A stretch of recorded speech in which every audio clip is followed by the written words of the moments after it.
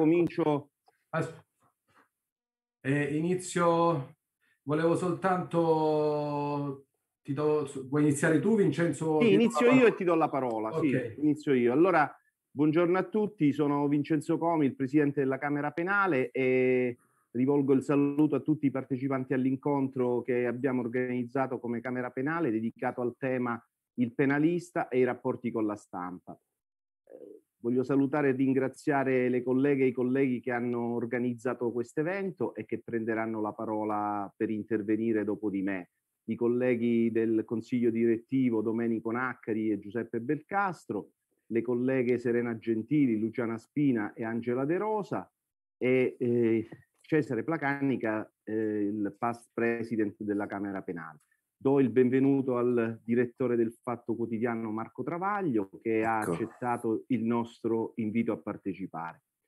L'occasione del confronto di oggi trova diciamo, una duplice origine, diciamo, un'origine contingente nell'articolo del fatto di qualche giorno fa sulla sentenza della Corte Costituzionale sul tema della censura della corrispondenza tra detenuto in regime di 41 bis e difensore, ma eh, si inserisce perfettamente in un contesto ben più ampio del tema dei rapporti del penalista con la stampa, che eh, da sempre è stato oggetto di particolare attenzione dell'Unione delle Camere Penali e di impegno anche e attenzione della Camera Penale di Roma, che ha anche una commissione dedicata a questo argomento e che organizza eh, costantemente delle iniziative e oggi è rappresentata da Serena Gentili che è dedicata a questo argomento. L'articolo del Fatto Quotidiano, la causa, come posso dire, contingente di, di questa occasione, ha colpito tutti noi perché nel trattare l'argomento abbiamo colto da una parte una lettura distorta della sentenza della Corte Costituzionale e di conseguenza di quei valori che dello Stato di diritto garantiti dalla Costituzione. Dall'altra una visione tendenzialmente populista e inaccettabile della funzione e del ruolo del difensore eh, erroneamente sovrapposto al proprio assistito. Ecco, questa idea del difensore identificato con il cliente poi finisce per pregiudicare la funzione e il diritto di difesa e tracima in una distorta rappresentazione di chi quotidianamente svolge la propria funzione con impegno e sacrificio e rispetto della deontologia e delle regole del processo. Io ho l'onore di rappresentare gli avvocati penalisti di Roma e sono testimone della vita dell'avvocato penalista, dello spirito, dei comportamenti, dell'impegno quotidiano di tantissimi colleghi che sono impegnati nella difesa dei diritti delle persone che, vengono, che sono sottoposte a processo. Più a monte, come dicevo, nella scelta di organizzare questo evento c'è il tema attuale sempre problematico dei rapporti tra il processo e i mezzi di informazione, che incide in maniera macroscopica sul nostro ruolo e, sullo, e sulla nostra funzione, eh, quotidianamente ne cogliamo la rilevanza. Certamente da una parte sentiamo profondamente l'essenzialità di riservare al processo e ai giudici l'accertamento del reato, dall'altra il diritto di informazione e i pericoli di una comunicazione distorta che finisca poi per pregiudicare i diritti fondamentali e determini dei danni irreparabili nei confronti delle persone che sono attinte da questa macchina mediatica, da questo fenomeno mediatico. E il bilanciamento tra queste due funzioni, anche alla luce dell'ultimo decreto che ha dato attuazione alla direttiva eh, de- comunitaria sulla presunzione di non colpevolezza, come fondamentale esigenza di rappresentazione dei soggetti nell'ambito della comunicazione giudiziaria richiede ancora di più una riflessione ermeneutica allargata a tutte le voci dei protagonisti di questa normativa. Ecco, lo spirito dell'incontro di oggi è proprio il confronto sul tema del penalista, della propria funzione e del ruolo nei rapporti con la stampa, nella consapevolezza dell'importanza delle due funzioni per contribuire a garantire l'effettività di una cultura ispirata al rispetto dei principi sanciti nella nostra Costituzione. La figura dell'avvocato è un presidio di garanzia della tenuta dello Stato di diritto che contribuisce eh, all'etica pubblica e al funzionamento della giustizia. L'avvocato non è un ostacolo alla giustizia, ma è un soggetto che garantisce i diritti delle persone e rende credibile il prodotto della decisione del giudice. Dietro questi principi c'è un impegno, come dicevo, costante e quotidiano di tantissimi avvocati che, sempre nel rispetto della deontologia, del, delle regole del processo, si impegnano quotidianamente. La stampa è altrettanto importante e sicuramente nei rapporti tra le due funzioni è sempre è fondamentale il confronto e la condivisione dei principi ispiratori dei ruoli. Tutto ciò che finisce poi nel, per, per, essere eh, così finalizzato a tutelare l'interesse dei cittadini. Io quindi ringrazio ancora eh, la, i colleghi che hanno organizzato e il dottor Travaglio che eh, ha accettato di partecipare a questo nostro incontro di oggi, che sarà sicuramente proficuo e nello spirito proprio di, questo, di questa mh, con, condivisione, di partecipazione, di confronto, confronto su eh, questi principi e sulla deontologia, principalmente proprio sui due ruoli e sulle funzioni, da una parte della, del difensore e dall'altro della, della comunicazione. Eh, io sono certo che oggi in questo spirito costruttivo di confronto daremo un contributo importante al tema e quindi eh, auguro buon lavoro, sono qui ad ascoltare e do la parola a Domenico Naccari. Grazie. Grazie Vincenzo. E proprio questo incontro nasce proprio da questo spirito, spirito di confronto, di collaborazione e di, diretta al dottor Travaglio, diciamo che noi come Camera Penale di Roma abbiamo deciso di, eh, al contrario di quello che è successo in altre organizzazioni, di non eh, minacciare o sporgere alcuna querela, perché eh, riteniamo che eh, ovviamente vadano affrontate le contrapposte visioni e ognuno ovviamente nello spirito di una dialettica leale eh, possa rappresentare quelle che sono eh, le proprie visioni. Eh, noi come penalisti, lo diceva Vincenzo, siamo eh, e i colleghi che sono oh, qui presenti oggi, sono, siamo tutti, eh, tutti i giorni eh, in aula a rappresentare le istanze di tutti, dai più deboli ai, agli imputati facoltosi, quelli che hanno più possibilità ma eh, rappresentiamo e difendiamo quello che è un valore costituzionale. Ed è per questo che praticamente questa sentenza della Corte Costituzionale non fa altro che rafforzare e, eh, quello, quello che è un principio costituzionale, cioè il fatto della libertà nella difesa. Libertà che si estrinseca in tutte le sue forme, anche in quella di corrispondenza tra l'avvocato e il cliente e l'avvocato non deve mai essere confuso col cliente perché eh, va, vanno distinti. Eh, il ruolo dell'avvocato deve difendere sempre e comunque chiunque sia l'imputato, eccellente o meno. E, ed è per questo che noi abbiamo deciso di, di, di, di confrontarci con, con lei, eh, proprio perché infatti la ringraziamo per questa sua partecipazione a questo convegno in quanto eh, ci rendiamo conto che effettivamente dal confronto possa nascere un qualcosa di costruttivo e si possano anche considerare le opposte visioni della vicenda. Quindi eh, il penalista, noi perché abbiamo messo il titolo Il penalista ed i rapporti con la stampa? Perché è, è, diciamo, è un convegno a 360 gradi. Il penalista ha i suoi doveri deontologici, il giornalista altrettanto, Spesso questi doveri deontologici vengono violati dall'una e dall'altra parte. È necessario vedere, anche raffrontando quelli che sono i doveri dell'avvocato e i doveri del, del giornalista, quelli che sono poi le violazioni che può commettere l'uno e che può commettere l'altro. Se possa essere sacrificato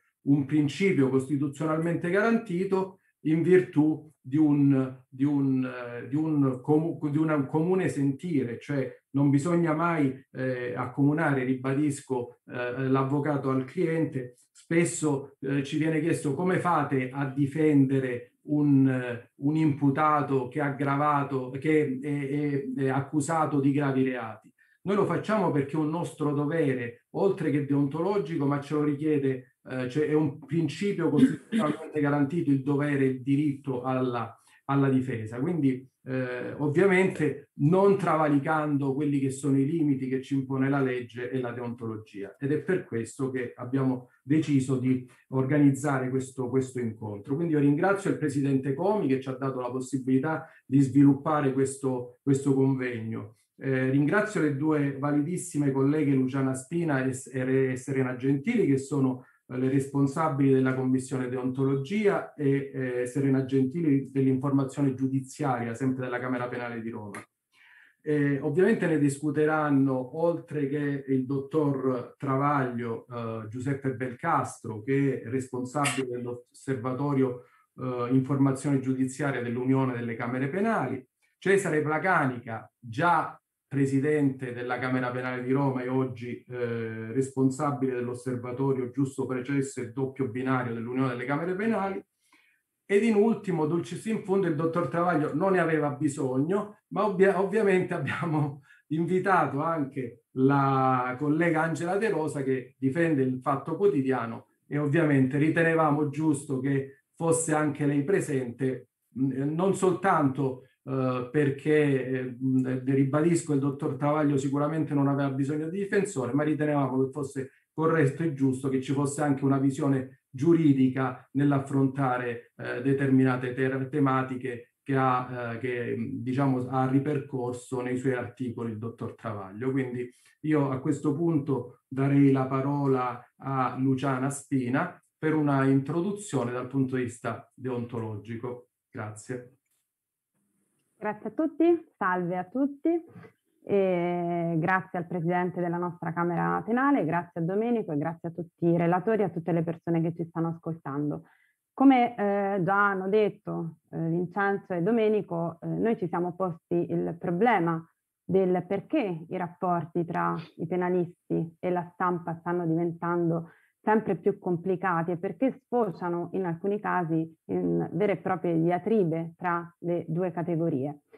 Io cercherò di affrontare eh, quello che a mio avviso può essere uno dei problemi che incide su questo rapporto chiaramente dal punto di vista deontologico. D'altronde non è la prima volta che la Camera Penale di Roma si interroga sulla questione e le Camere Penali in generale in generale lo hanno sempre fatto con un occhio sempre molto attento al rispetto da parte degli avvocati del nostro codice deontologico. La professionalità del difensore odierno deve essere impeccabile, arricchita da una formazione adeguata, nonché dall'aggiornamento obbligatorio che allineandoci ai paesi europei ci costringe a riattivare il nostro bisogno di apprendere e magari a recuperare qualche versetto del nostro Vangelo, la deontologia.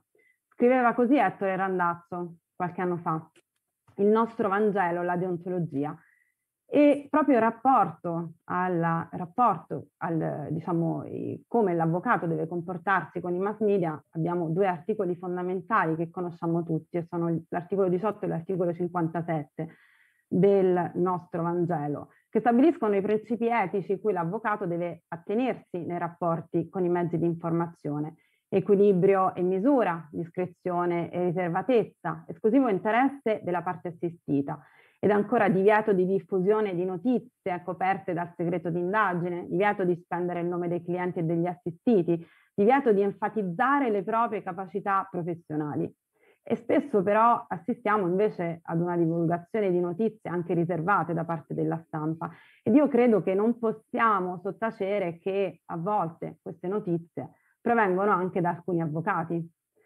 Come spesso assistiamo ad una eccessiva esposizione mediatica dell'avvocato, di alcuni avvocati, su fatti che riguardano procedimenti ancora in indagine. Questo deriva sicuramente da eh, un crescente diffondersi della cosiddetta spettacolarizzazione del processo penale e dell'attenzione dell'opinione pubblica, a volte anche un po' morbosa, credo, sul, sui casi di cronaca. E sicuramente non possiamo vietare in generale l'esposizione mediatica, perché in alcuni casi è doveroso per l'avvocato intervenire e difendere il proprio assistito anche al di fuori del processo penale. Però questo dovrebbe sempre avvenire nei limiti e nel rispetto delle norme del codice deontologico, perché altrimenti si fa innanzitutto un danno al proprio assistito e si rischia tra l'altro di eh, pregiudicare la serenità del magistrato che deve poi andare a giudicare il processo.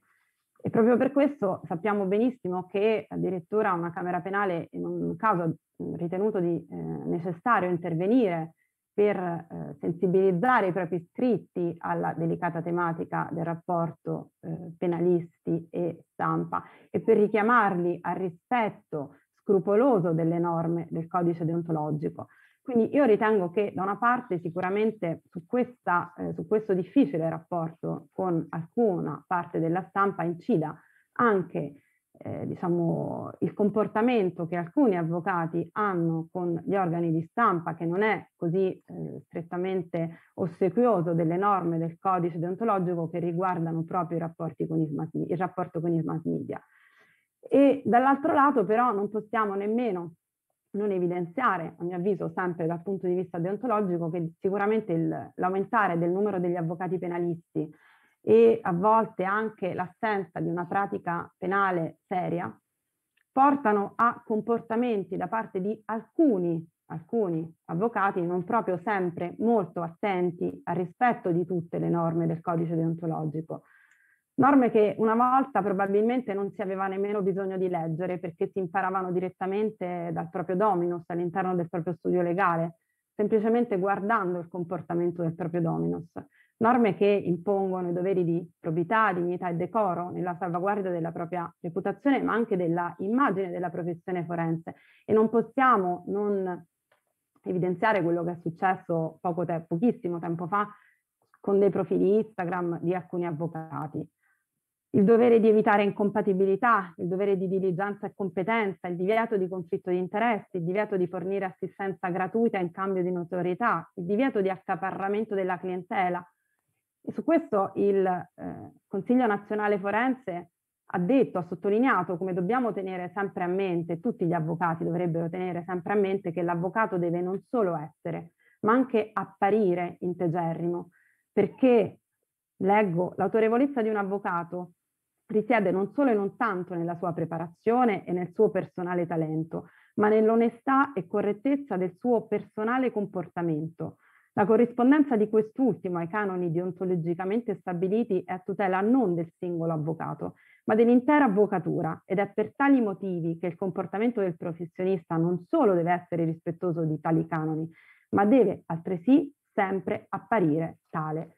Ed allora il problema, ritengo, è che quando appare che anche solo un professionista non sia integerrimo e quindi che le regole non vengano rispettate, si pregiudica inevitabilmente la dignità della professione tutta e l'immagine dell'intera classe forense. E questo credo che inevitabilmente vada ad influire, a contribuire, diciamo, a determinare quella idea di un avvocato penalista eh, che la stampa a volte indica come un po' spregiudicato e che porta poi appunto alcuni giornalisti ad elargire eh, critiche a volte eccessivamente offensive sull'intera classe della categoria dei penalisti.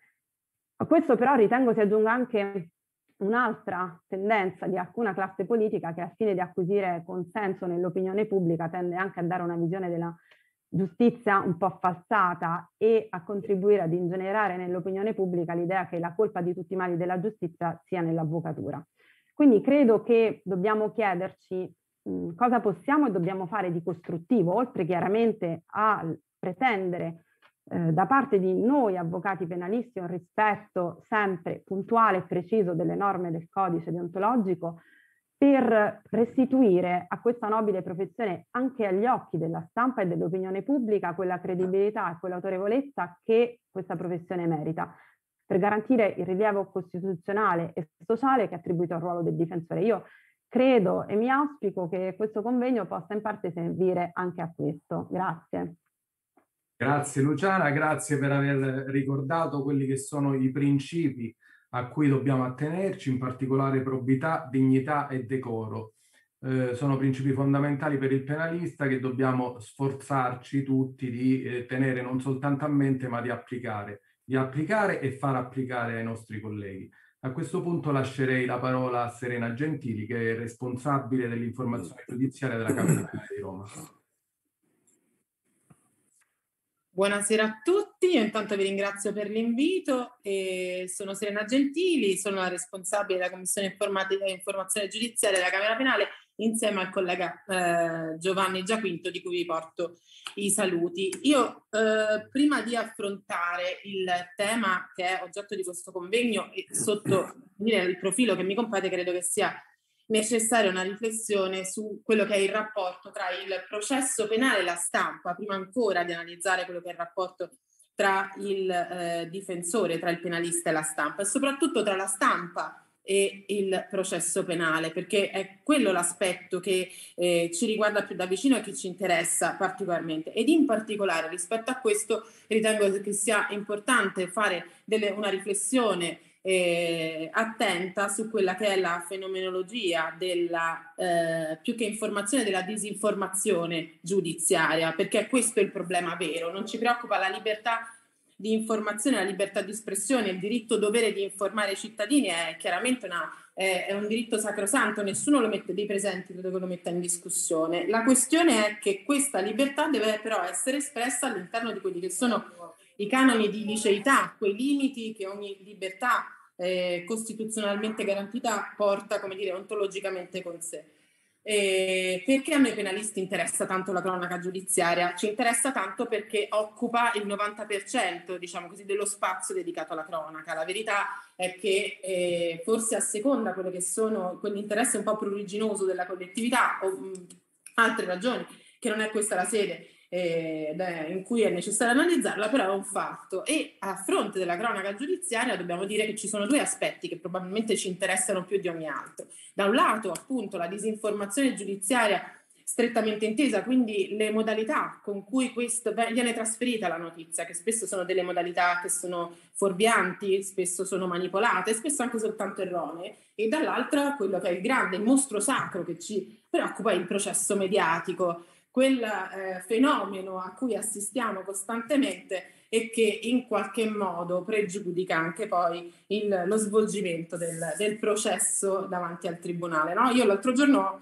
letto interessante, un interessante passaggio dell'avvocato Petrelli nell'introduzione al libro bianco sui rapporti tra mezzi di comunicazione e processo penale. Ora lo cito più o meno testualmente. Lui dice il pericoloso derivato di ciò, cioè del processo, del processo mediatico, è la produzione di una sorta di realtà parallela, cioè di un processo autonomo, frutto di una vera e propria rappresentazione sociale, per cui è vero ciò che l'informazione dice che è vero, perché è prodotto diretto dalla magistratura, e non di ciò che è reale. Questo è il problema, in fondo, questo è il nocciolo, no? che in, in, poche battute eh, Petrelli spiega esattamente quali, come dire, racchiude quelli che sono le ragioni dei turbamenti dei penalisti, perché quello di, di, quando i processi penali vengono scimmiottati in televisione, di quando vengono sentiti i testimoni, perché tutto questo, questi processi che si realizzano poi in tv, in tv così come poi a cascata anche sui social media, hanno delle conseguenze che sono delle conseguenze devastanti, irreparabili per quanto riguarda il processo penale. E,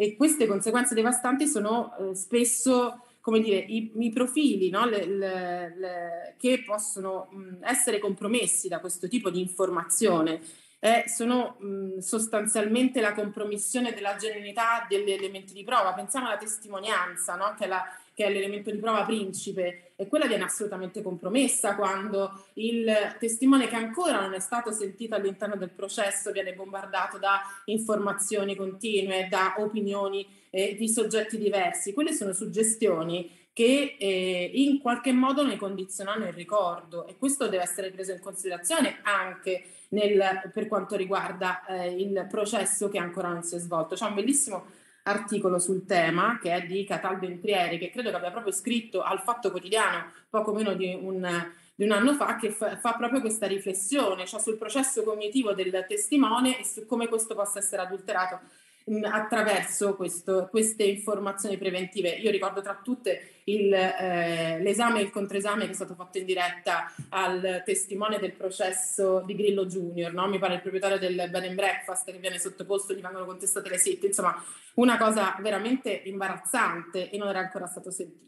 Questo per quanto riguarda il primo aspetto. Il secondo aspetto che lascia perplessi, ovviamente che preoccupa, è che in questo modo c'è un'evidente compromissione della Virgin Mind del giudice. Sappiamo tutti che il giudice è sottoposto a, a delle influenze, anche inconsapevolmente, anche, eh, anche se ha uno, una, schermata, una schermatura, diciamo così, che è legata alla sua professionalità. Ma è ancora peggio questo effetto si genera su quelli che sono i giudici popolari, invece, che questa schermatura, ad esempio, non l'hanno e che, eh, e che, forse sono più esposti anche a queste colorite no, diatribe eh, televisive. E poi chiaramente terzo, la terza conseguenza molto grave che e forse anche delle, eh, dei profili di irreparabilità è quello che accade nei confronti poi del, eh, dell'imputato, dell'indagato. Molto spesso apprende di essere indagato direttamente dalla stampa prima ancora che gli arrivi una qualche qualsiasi comunicazione dal, eh, dal tribunale, dalle autorità giudiziarie, molto spesso viene indicato perché poi la verità è che in questa fase di anticipazione del giudizio che, a cui assistiamo, eh, la, la, viene sposata la tesi dell'accusa, di conseguenza vi è una tendenza al, al, ad, una te- ad aderire ad una tesi colpevolista, tanto che poi il soggetto che è coinvolto all'interno del processo resta con un eh, marchio di colpevolezza addosso, anche se poi viene emessa una sentenza di assoluzione. Questo è un altro problema grave cui bisog- su cui bisogna riflettere. E quando poi vengono emesse le sentenze di assoluzione, a volte la percezione che l'opinione, eh, l'opinione pubblica ha è che sia denegata giustizia. Questo è, teniamone conto, insomma, vabbè, questo io non, è, non, voglio attardarmi su questo. Quello che voglio dire è che di sicuro le questioni del rapporto tra il processo e la stampa sono sono questioni risalenti, ne parlava già Carrara, quindi non è un fatto nuovo. Qual è la, l'elemento in più che abbiamo oggi nel, eh, nel, nella realtà odierna, diciamo, nel mondo contemporaneo? È l'effetto dirompente che la cassa di risonanza della televisione o, del, eh, o, o dei social media eh, consente poi alla diffusione di queste notizie, perché a quel punto le notizie arrivano in tutte, eh, in tutte le dimensioni domestiche, nelle case e, e il giornalista nella, diciamo così, eh, nella vita quotidiana, poi acquisisce quasi un ruolo sacerdotale, come se fosse il depositario di una verità assoluta. Ecco, questo forse andrebbe in qualche modo contrastato. E questo per quanto riguarda il processo mediatico. Per quanto riguarda la disinformazione, e mi rifa, eh, chiaramente mi ricollego a quello che è stato detto in precedenza, è ovvio che eh, in, la, l'informazione deve essere un'informazione corretta e non manipolata. Insinuare che l'avvocato sia un sodale, un fiancheggiatore, che sia qualcuno che strizza l'occhio al proprio assistito è un modo, diciamo così, e mi tengo, è, è, un modo sbagliato di fornire l'informazione perché alimenta la cultura del sospetto, no? In, insinua, diciamo, quello che eh, in, in, lascia passare una notizia che non è una notizia, cioè una comunicazione che non viene data espressamente, ma comunque il passaggio di questa insinuazione che può essere poi letta come se fosse la realtà passa e questo bisogna fare attenzione perché questo, come diceva anche il presidente Comi, indebolisce il ruolo del difensore. Il difensore è garante dello Stato del diritto, indebolire il ruolo del difensore indebolisce lo Stato del diritto. Questo è, è, importante dirlo secondo me come premessa. Detto questo, ed è terminata la mia parte eh, come dire, destruence del discorso, voglio affrontare invece una riflessione su che, qual è il ruolo del, del penalista, no? cosa può fare. Diciamo che il codice ci offre delle, eh, ci offre delle possibilità perché ci, c'è della normativa, l'articolo 114 che prevede il divieto, ci sono delle sanzioni che hanno diversa natura, però la verità è che a prescindere dalla, poi, dalla formulazione un po' ambigua restano lettera morta fino ad oggi, insomma non hanno delle grosse conseguenze per arginare la disinformazione. Anche l'introduzione, il recepimento della direttiva non ha questo effetto reale sul eh, come dire, sul eh, te, ehm, correggere quello che è il fenomeno distorsivo della, dell'informazione. E, e quindi l'avvocato penalista deve innanzitutto prendere coscienza del fatto che deve avere un ruolo all'interno di tutto questo, quindi deve intervenire in qualche modo, deve combattere attivamente questo tipo di distorsioni. Come però? Perché ci chiediamo a questo punto come? Allora, innanzitutto Questo a prescindere dal fatto che si possano presentare esposti, querele, chiaramente questo è un'altra questione che non, non, è, eh, questo non intendo affrontare, ma probabilmente, e questo lo sottopongo agli interlocutori che poi si confronteranno successivamente, forse dovremmo avere anche un approccio rinnovato alla comunicazione e all'utilizzabilità della comunicazione in ambito giuridico. Cioè mi chiedo a questo punto, perché preso atto del fatto che il processo mediatico esiste, che non possiamo prescindere da questo, né possiamo impedirlo, preso atto del fatto che non vogliamo costringere la libertà di informazione in, un, no, in confini angusti, perché è giusto che ci sia una libera espressione, una libertà di fare informazione, anche in termini più, come dire, critici, no? anche attraverso la satira. Bene, benissimo tutto questo.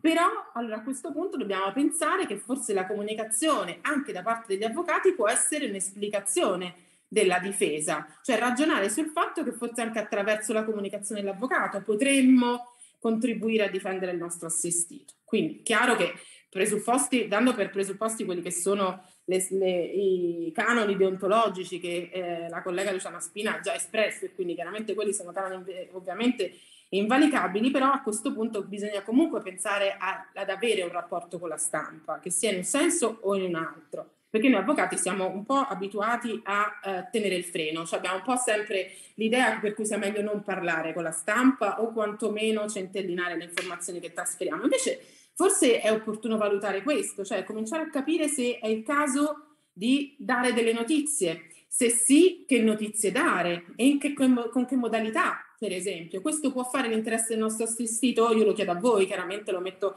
e lo metto sul tavolo. E poi anche comunicazione di tipo diverso, comunicazione giuridica, cioè cercare di diffondere quella che è la cultura giuridica, il ruolo del difensore, il ruolo del difensore d'ufficio, quello che è lo Stato di diritto. È chiaro che è, un, è un'opera complicata, perché io mi è capitato, questo lo condivido con voi, mi è capitato di assistere a dei colleghi che sono nati in tv e che magari hanno fatto anche delle riflessioni strutturate, eh, eleganti, però poi pass- no, non, forse non erano in grado di comunicare effettivamente quelle che erano le nozioni giuridiche che volevano condividere, perché a fronte di un'analisi tecnica specifica, articolata, forse bisogna anche capire se utilizzare un linguaggio più fruibile per poter condividere queste nozioni con la collettività. E questa è un'altra questione che io sottopongo ovviamente a voi. Quindi capire anche se forse l'avvocato ha la necessità di formarsi in questi termini, perché non potendo prescindere dall'esistenza della comunicazione, dalla, dal confronto con la stampa, forse dovremmo essere bravi a farlo anche noi, questa è la domanda. E quindi chiaramente se farlo noi personalmente o fornire, perché ci sono anche delle agenzie specializzate che fanno questo, ma è chiaro che poi ne, hanno un costo e quindi anche questo rientra nella valutazione della difesa. Se, eh, e dall'altra parte, cioè valutare dall'altra sponda, e questo forse mi può eh, interessa di più al direttore Travaglio o comunque alla stampa in generale, perché poi bisogna anche capire se dall'altra parte le testate sono, i giornali sono disposti a pubblicare la tesi della difesa, se sono disposti a pubblicare le eventuali discettazioni garantiste di un avvocato penalista. Se eh, per esempio riferire delle notizie che possano in qualche modo discostarsi da quella che è la tesi, da quella che è la linea editoriale, no? passatemi il termine un po' manettara mainstream del proprio giornale, se poi questo non abbia delle conseguenze che sono delle conseguenze negative rispetto al, a, al proprio giornale, rispetto al proprio elettorato, rispetto a quella che è la propria identità. E quindi anche questo secondo me va messo sul tavolo. E in ultimo, e poi giuro che concludo, è la domanda se l'avvocato debba o no prendere parte al processo mediatico, perché se da un lato questo può certamente in qualche modo magari può aiutare il, la tesi difensiva, può diffondere quella che è la posizione difensiva del proprio assistito, dall'altro si rischia di legittimare questo circo mediatico e quindi questo, questa anticipazione del processo al, rispetto al vaglio dibattimentale. Quindi, e qui giuro che concludo, la valutazione dell'opportunità di creare una strategia difensiva mediatica. Grazie. Grazie Serena. Eh, processo mediatico è realtà parallela. Eh, opportunità che il difensore eh, debba intervenire in eh, processi mediatici eh, sono mm, questioni che ti ringraziamo di aver posto. Io penso che in tutto, questa è una mia opinione personale, ma penso che poi la condivideremo anche con Cesare, con Giuseppe, con gli altri Angela. Eh, ritengo che ci debba essere equilibrio, cioè non ci si può chiudere dentro gli studi e spesso eh, si fa l'interesse del cliente anche rappresentando quelle che sono le tesi difensive, senza ovviamente arrivare all'eccesso opposto dove effettivamente c'è la compromissione dei mezzi di prova laddove i testimoni vengono sentiti prima dalla stampa e poi in tribunale. Quindi questa realtà parallela a cui tu hai fatto riferimento inevitabilmente compromette quella che è la genuinità del processo reale quindi eh, eh, noi siamo, dobbiamo, secondo me, eh, avere il giusto equilibrio tra un eccesso che è il processo mediatico e la chiusura dentro, dentro lo studio. Non è facile trovare il punto d'equilibrio, però insieme dobbiamo, secondo me, trovare quello che è il punto d'equilibrio tra una chiusura all'interno dello studio e un processo mediatico. Quindi grazie per gli spunti interessanti. Adesso lascio la parola alla collega Angela De Rosa che ci parlerà ovviamente del eh, diritto all'informazione. Sì, buon pomeriggio a tutti, eh, un saluto un ringraziamento, devo dire, di, di, cuore agli organizzatori di questo convegno, al Presidente, Comi e insomma a tutti i relatori. Eh, devo dire sono molto contenta di, di poter partecipare eh, per un motivo, in primis per portare quello che è un punto di vista ehm, un po' diverso, che si pone diciamo un po' a cavallo tra le istanze del, dell'avvocato penalista e quelle magari del, del giornalista, che è appunto il, il, punto di vista dell'avvocato che, che, si occupa di diritto dell'informazione.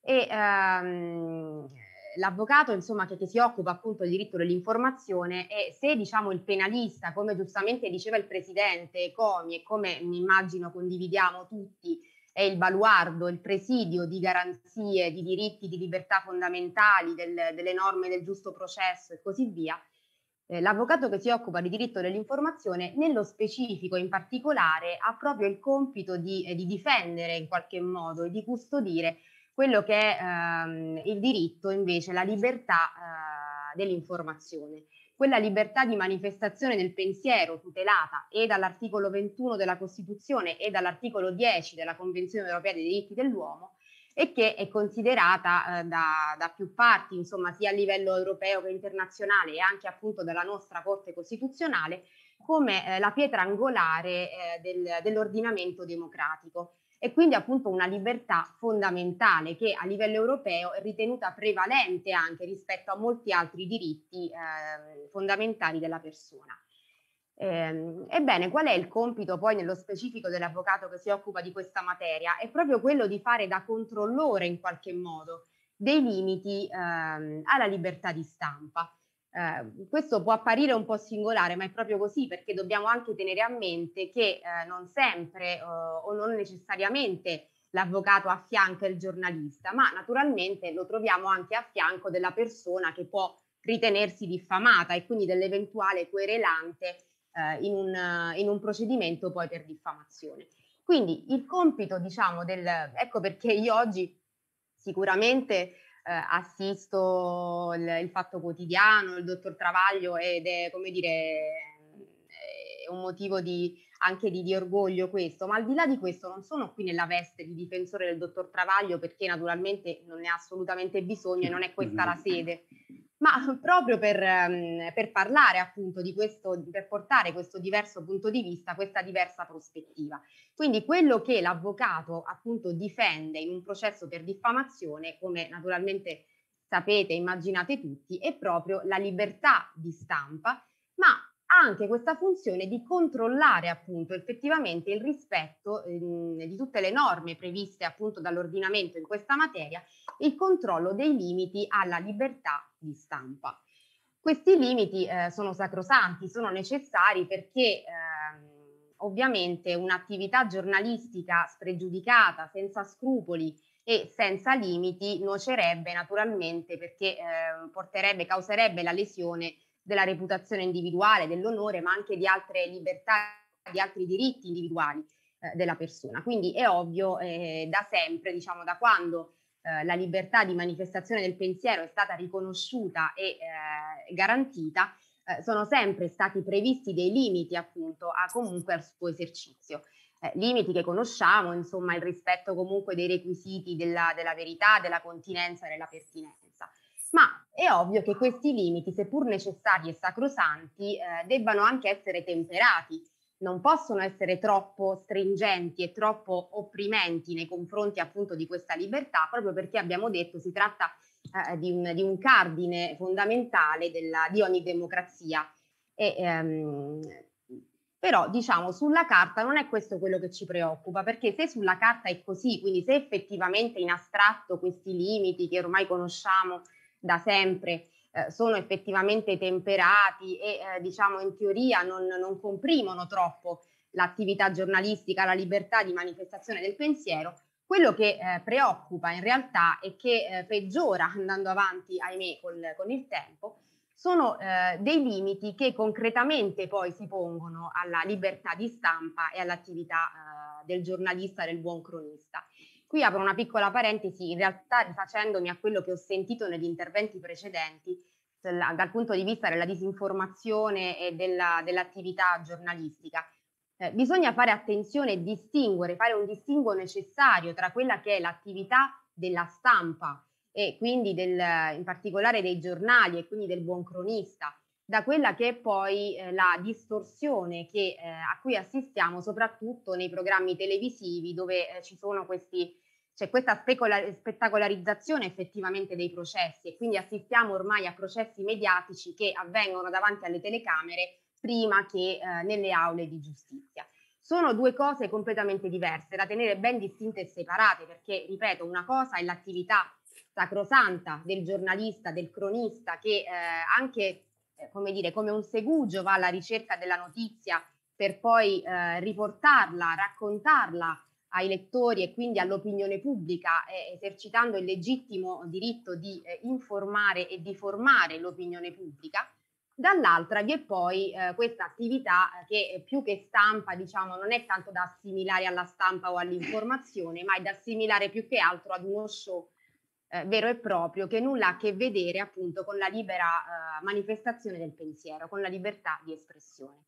Fatta questa parentesi che però insomma ritenevo necessaria eh, avendo ascoltato l'intervento della, della collega Serena Gentili, ehm, stavo appunto eh, dicendo che ehm, questi limiti che in concreto poi si pongono alla libertà di stampa all'attività del giornalista sono sempre più stringenti e sono rappresentati ad esempio ehm, dalla, anche dal, dalle stesse norme, dalle leggi che eh, si susseguono in questa materia ma che purtroppo non sono mai decisive, che non, non danno delle soluzioni alle tante problematiche che riguardano la materia appunto della, dei reati eh, di opinione, in particolare della diffamazione, ma sono più che altro delle leggi ambigue o eh, troppo complesse di difficile interpretazione che quindi alla fine o restano lettera morta o comunque finiscono per creare ulteriori problemi.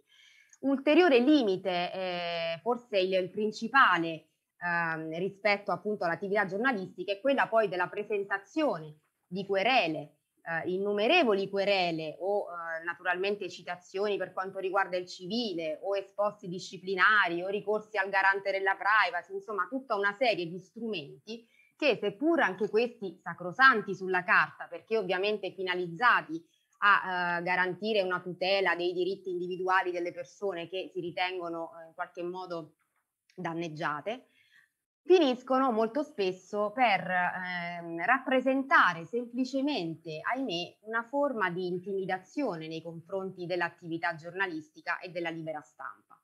Perché molto spesso, e questo lo dico um, un po' anche per esperienza, perché appunto um, diciamo assisto quotidianamente a, a, a questo fenomeno, eh, vengono presentate molto spesso querele, atti di citazioni e quant'altro assolutamente infondati, che non hanno eh, realmente motivo eh, dal punto di vista giuridico, diciamo, di, di sussistere. Eh, vengono presentate querele addirittura sulla punteggiatura, sugli aggettivi, insomma, mh, andando al di là poi di quelle che sono effettivamente le norme, i limiti previsti dalla, dalla legge in tema di diffamazione. Ecco perché dicevo facendo una, una piccola riflessione proprio sul ruolo dell'avvocato, eh, in questo caso una riflessione critica, ehm, l'avvocato, eh, soprattutto in questa materia del diritto dell'informazione, deve considerarsi ed essere considerato come il controllore dei limiti alla libertà di stampa. E anche quando si è dall'altra parte, quindi quando eh, si è chiamati in qualche modo ad esprimersi, a dare il proprio parere ad un uh, futuro eventuale assistito sulle, eh, sulle, sulla possibilità, diciamo, di intraprendere un'azione legale che riguarda, che abbia ad oggetto un articolo, uno scritto, bisognerebbe, ecco, in quel caso non assecondare magari quella che può essere anche giustamente una interpretazione soggettiva che eh, la persona interessata dà di quell'articolo e quindi di incoraggiare in qualche modo un risentimento della persona che però poi non trova in realtà dal punto di vista giuridico un riscontro. Quindi ecco, bisognerebbe prestare attenzione anche a questo aspetto ed evitare la presentazione di querele o di atti di citazione assolutamente infondati e che magari possono avere nella migliore delle ipotesi e quindi dando per assodata la buona fede naturalmente della persona, eh, eh possono eh, semplicemente basarsi su un'interpretazione soggettiva di quello scritto. Oppure eh, a questo punto, diciamo, eh, andando oh, in, in malafede, possono essere rivelarsi strumentali per il, il conseguimento di altri obiettivi che nulla hanno a che vedere con la tutela della propria reputazione. E ehm, in particolare, diciamo, da questo punto di vista, il problema è costituito soprattutto da eh, quando queste azioni legali sono intraprese da, uh, dai cosiddetti potenti di turno. Per potenti ovviamente indichiamo i politici, i rappresentanti delle istituzioni, eh, ma anche eh, grosse società, grossi gruppi industriali, rappresentanti della finanza e financo magistrati, perché purtroppo eh, è, così. Questo non per dire naturalmente che eh, questi soggetti che esercitano dei poteri anche eh, pubblici eh, non possano, non possano, come dire, in qualche modo agire per tutelare il proprio onore e la propria reputazione e non debbano presentare querele o atti di citazione, ma per dire che in questi casi bisogna fare attenzione a, a che eh, poi questi strumenti non diventino, non finiscano per diventare, ripeto, uno strumento di eh, intimidazione e di dissuasione nei confronti della libera stampa, perché è evidente che pensiamo soprattutto ai eh, giornalisti freelance, alle piccole testate che non hanno, non godono di finanziamenti pubblici o non, non hanno alle spalle un editore potente che possa proteggerli e eh, sostenerli anche economicamente. In questo caso eh, la presentazione continua, ripetuta di querele, di atti di citazione finisce per diventare una spada di Damocle appunto sulla loro attività, per cui alla fine, ahimè, eh, piuttosto che eh, smettere di lavorare, fallire e eh, quindi non poter più esercitare la propria attività, magari si decide di non dare alcune notizie e quindi di tacere in determinate situazioni ehm, appunto per evitare queste, queste situazioni e quindi di dover pagare ingenti risarcimenti e, eh, e smettere di lavorare. Questo è un problema reale è un problema reale e eh, per cui appunto sarebbe necessario, uno dei motivi principali per cui sarebbe necessario un intervento del legislatore, una riforma che da anni insomma si, si chiede a, grande voce, che è chiesta a grande voce da parte dei direttori delle principali testate, quindi da parte proprio della, degli organi di stampa e da parte degli avvocati che si occupano di questa materia, proprio perché, ripeto, si finisce per limitare in, mat- in maniera anche violenta e forte la libertà di stampa ehm, con questi strumenti appunto di, di, intimidazione, perché tali sono. E ehm, ovviamente si auspica una riforma eh, in che senso? Nel senso ad esempio dell'introduzione dell'istituto della querela temeraria, che appunto da tempo viene richiesto eh, proprio perché al pari del civile, come accade insomma parallelamente in sede civile, potrebbe anche in sede penale questo strumento in qualche modo scoraggiare la presentazione o comunque limitare la presentazione di appunto queste querele che poi sono assolutamente infondate e eh, hanno soltanto lo scopo di eh, in qualche modo intimidire appunto il giornalista. E ehm, quindi ripeto, lasciando, perché non è che si può limitare tout court, è ovvio, la, eh, la libertà e il diritto di ciascuno di intraprendere azioni legali a propria tutela, però ecco, uno strumento, un istituto del genere servirebbe sicuramente a, uh, a porre un freno agli abusi anche uh, di questa uh, insomma, delle querele di questi strumenti. Eh, ancora si potrebbe eh, rivedere tutto il sistema sanzionatorio ehm, che ancora, come dire, è, è, è, che ormai è obsoleto, è ancora quello originario, l'impianto originario previsto, eh, come sappiamo, negli anni, addirittura negli anni 40, e ehm, che prevede appunto delle pene troppo eh, dure nei confronti del giornalista, anche laddove poi, ed è, si tratta della, come dire, la maggior parte, la maggioranza dei casi, eh, non si sia neanche di fronte ad una diffamazione vera e propria, perché anche il, il, cosiddetto errore incolpevole, quindi quando effettivamente viene commesso un errore dal giornalista che eh, non ha avuto magari eh, modo, tempo di, eh, di, avere, di trovare dei riscontri, di verificare con certezza la notizia, ma che magari prontamente rettifica, smentisce e quindi si adopera per riparare anche il danno. Ecco, dinanzi a questi casi io sfido eh, voi colleghi, appunto eminenti colleghi penalisti, ad individuare poi, eh, a dare prova della sussistenza del dolo, perché ricordiamo che alla fine la diffamazione, essendo un delitto e non essendo previsto nella forma colposa, eh, eh, deve appunto, deve comunque avere sempre eh, un dolo, il dolo generico. E nella maggior parte dei casi questo dolo non c'è, non può essere provato, perché appunto l'intento del giornalista non è quello di ledere la diffamazione del soggetto, quantomeno del buon giornalista ma appunto si può, ahimè, incappare in errori incolpevoli e, eh, ed è assurdo che dinanzi a questi errori eh, debbano essere comminate eh, non solo condanne penali, ma anche comunque sanzioni oltremodo eh, rigorose e. Un primo passo in questo senso, uh, un primo importante passo che oserei quasi definire rivoluzionario, è stato compiuto dalla Corte Costituzionale, che, come spesso accade ultimamente, è intervenuta, eh, come dire, al posto del legislatore, perché dinanzi all'inerzia, al silenzio del, del nostro Parlamento, del nostro legislatore, la Corte Costituzionale ha um, appunto intervenuta con la sentenza 150 del 2021 che ha dichiarato, come, come noto, insomma, come sappiamo, l'illegittimità costituzionale dell'articolo 13 della legge eh, sulla stampa e mh, conseguentemente dell'articolo 30 comma quarto della legge numero 223 del 1990 che invece disciplina il sistema radiotelevisivo.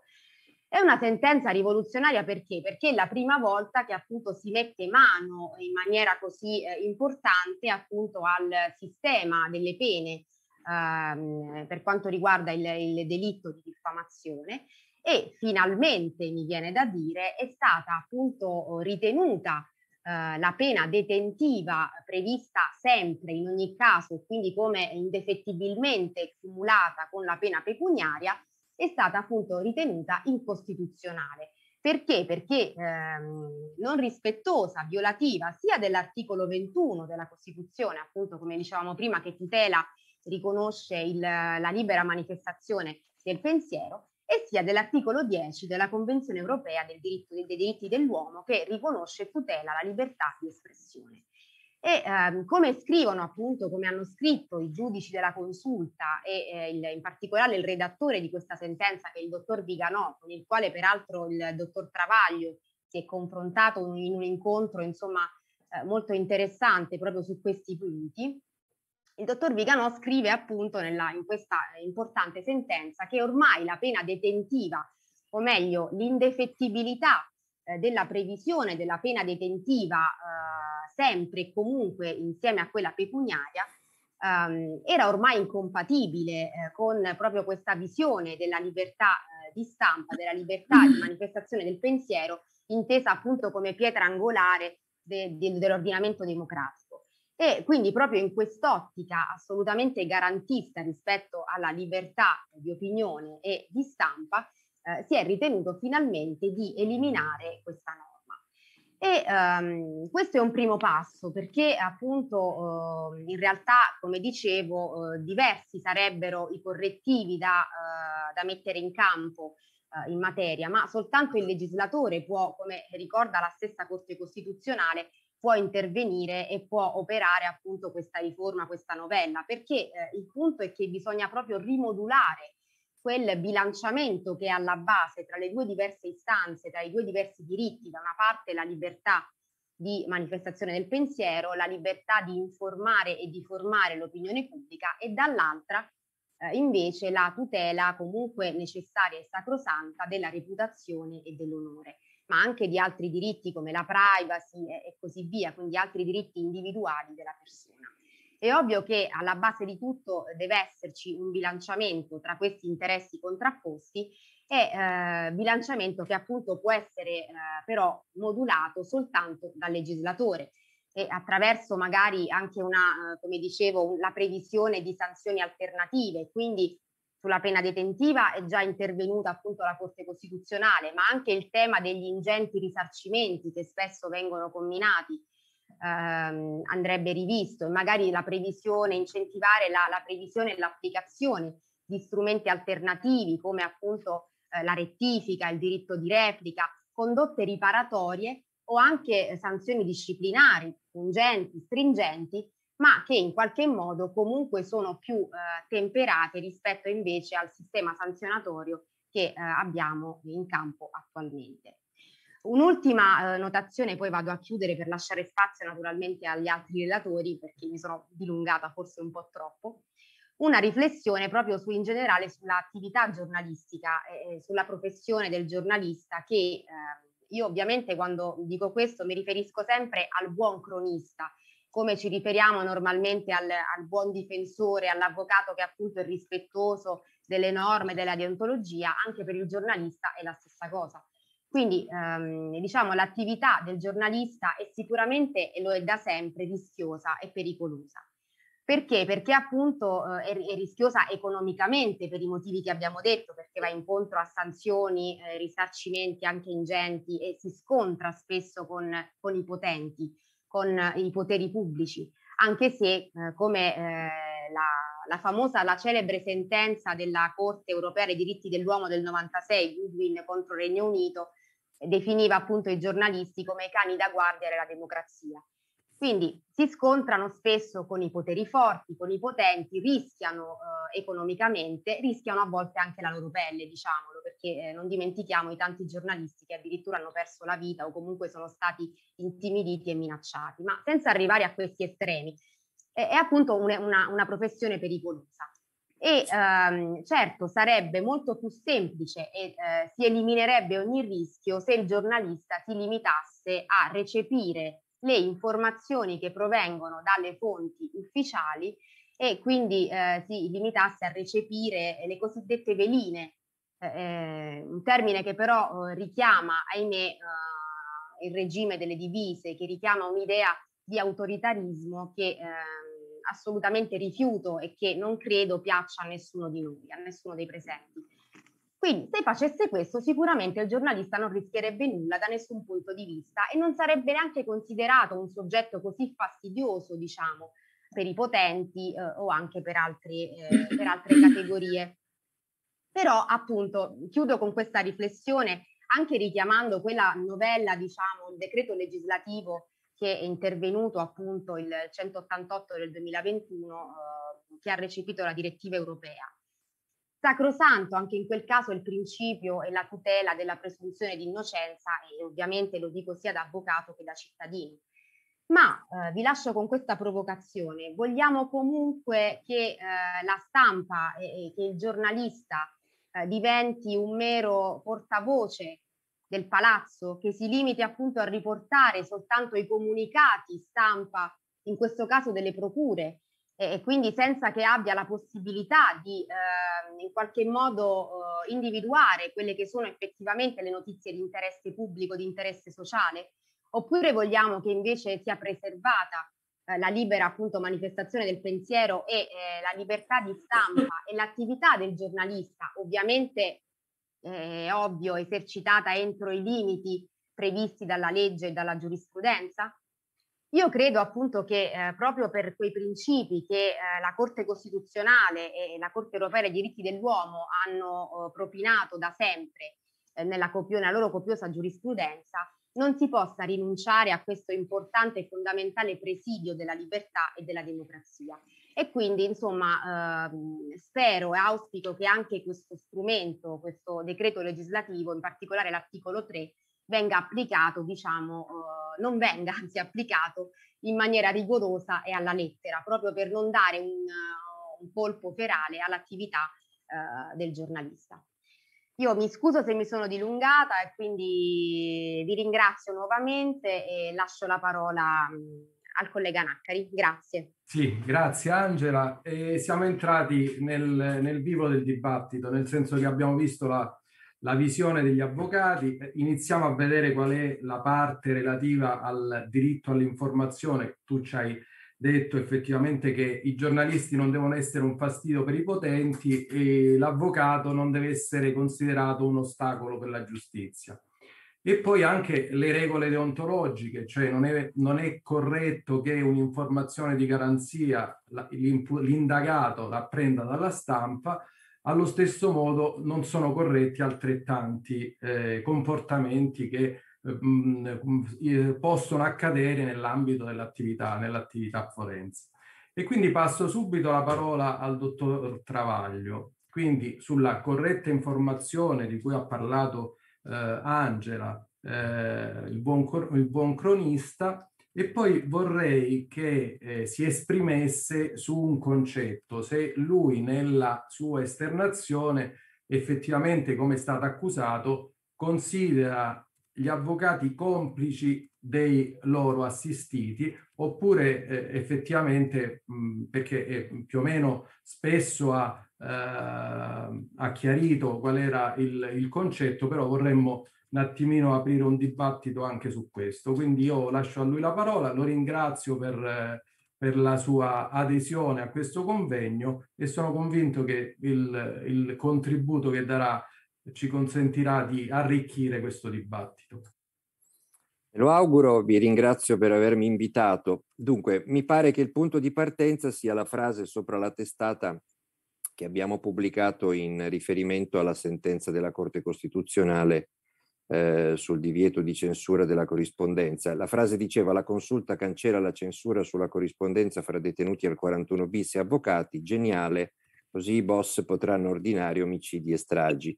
Eh, non credo di, di, avere in quelle poche, L- l'ho scritta io, eh, quindi me ne assumo la, la, la, piena responsabilità perché poi il giornale è un lavoro collettivo, ma quella, quella frase lì l'ho fatta io. Ehm, quando io dico potranno, eh, non ho detto che riusciranno sempre, ho detto che potranno. Quanti siete come avvocati in Italia? 300.000?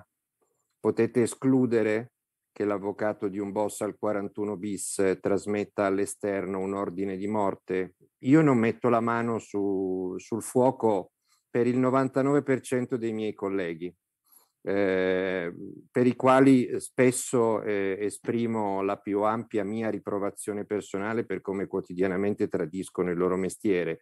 Immagino che anche voi sappiate, e mi è piaciuta molto l'impostazione del dibattito data finora Ehm, che mi è sembrato un dibattito che cerca di sgombrare il campo dalle ipocrisie e dalla, e dalla retorica e, e, ed è un dibattito che mi pare che si stia radicando molto nella realtà effettiva delle cose, del come sono le cose, del mondo in cui viviamo realmente, concretamente e non in quello che eh, dovrebbe essere secondo i nostri sogni o doveva essere secondo i sogni, secondo me, un po' deliranti di chi ha scritto il codice di procedura penale nel 1989, immaginando un giudice chiuso nella sua teca come la mummia di Tutankhamon, eh, che non riceve nessuna notizia sul suo processo fino al momento in cui non inizia la prima udienza. Ecco, parliamo delle, del paese in cui viviamo, della realtà del mondo più che nel paese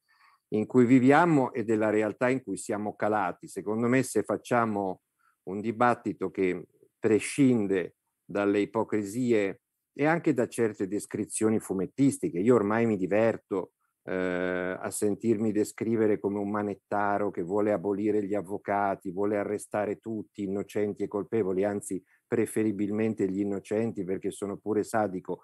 È molto divertente questa rappresentazione fumettistica, però non credo eh, che faccia bene ehm, a un dibattito serio come quello che eh, avete organizzato e nel quale avete deciso di invitarmi. Eh, quindi eh, io ri- respingo innanzitutto questo fumettino quotidiano, gli amici dei giudici, gli amici dei PM, gli amici degli avvocati, i garantisti, i giustizialisti. Eh, io se non me lo sentissi dire tutti i giorni non mi sentirei affatto un giustizialista, non credo eh, che sostenere che chi ruba deve andare in galera sia una cosa particolarmente stramba o eversiva. Credo che molti avvocati ne possano, ne possano convenire, anzi, conoscendo molto più di me eh, il livello di illegalità che c'è in questo paese, credo che si renderanno benissimo conto anche loro che probabilmente se la giustizia funzionasse un po' meglio in galera ci sarebbe molta più gente di quella che riusciamo a mettere. Quindi ehm, io rifuggo sempre da questi ismi e da queste definizioni. La mia è una formazione ehm, di cronista giudiziario che ha studiato questi problemi non sui libri ma nelle aule di tribunale, andando a scarpinare in giro, andando a cercare notizie, possibilmente in esclusiva e documenti possibilmente segreti, spero che a nessuno di voi si rizzino i capelli in testa, uno dei nostri doveri è quello di violare i segreti e di pubblicare le cose che gli altri non hanno, anche se sono segrete. Finalmente, non tanto la nostra Corte Costituzionale che è sempre un po' in ritardo, notoriamente, ma la Corte di Giustizia Europea ha più volte detto che è nostro dovere violare i segreti con un unico discrimine, che quei segreti riguardino personaggi o vicende di interesse pubblico. Se c'è l'interesse pubblico, l'interesse pubblico prevale eh, sul divieto e sulla segretazione dell'atto.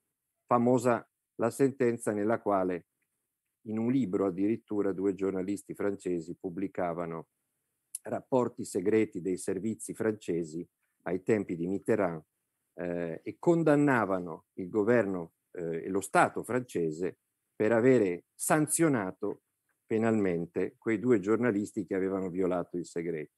E altre sentenze del genere ci sono e spesso vengono utilizzate dai nostri avvocati per difenderci quando qualcuno ci domanda per quale strano motivo pubblichiamo segreti. Pubblichiamo segreti perché è esattamente il nostro dovere. Se dovessimo pubblicare i comunicati stampa delle procure soprattutto dopo questa demenziale legge sulla presunzione di innocenza, faremo i velinari, probabilmente non c'è neanche bisogno di, di fare il giornalista, per, basterebbe semplicemente un sito che dirama le, le, i comunicati delle procure e se non piacciono agli avvocati il comunicato uguale e contrario dell'avvocato difensore. Noi che cosa ci stiamo a fare? Eh, se non ci mettiamo la nostra professionalità e la nostra è il nostro spirito di segugi, la nostra curiosità eh, e la nostra abilità nell'infilarci nelle pieghe delle leggi, anche a costo di violare il, il sacro principio eh, del divieto di pubblicazione integrale di atti non più coperti da segreto e sono tutte cose bizantine delle quali io personalmente me ne sono sempre fregato eh, perché so che è mio preciso dovere pubblicare atti anche segreti, anche non pubblicabili, che abbiano il requisito dell'interesse pubblico per il personaggio che riguardano o per la vicenda che riguardano. Eh, aggiungo che io non ho scritto una riga ed è, il mio è l'unico giornale d'Italia che non ha scritto una riga sulla nota vicenda eh, Totti-Ilari Blasi perché a me non me ne frega niente eh, dei rapporti privati fra due coniugi, tanto più quando ci sono dei bambini piccoli che leggono presunte amanti del loro padre o della loro madre. E per venire alle vicende giudiziarie, il mio è l'unico giornale che non ha scritto una riga su quel senatore che la settimana scorsa si è trovato in mezzo a una vicenda di droga. Perché non abbiamo scritto una riga?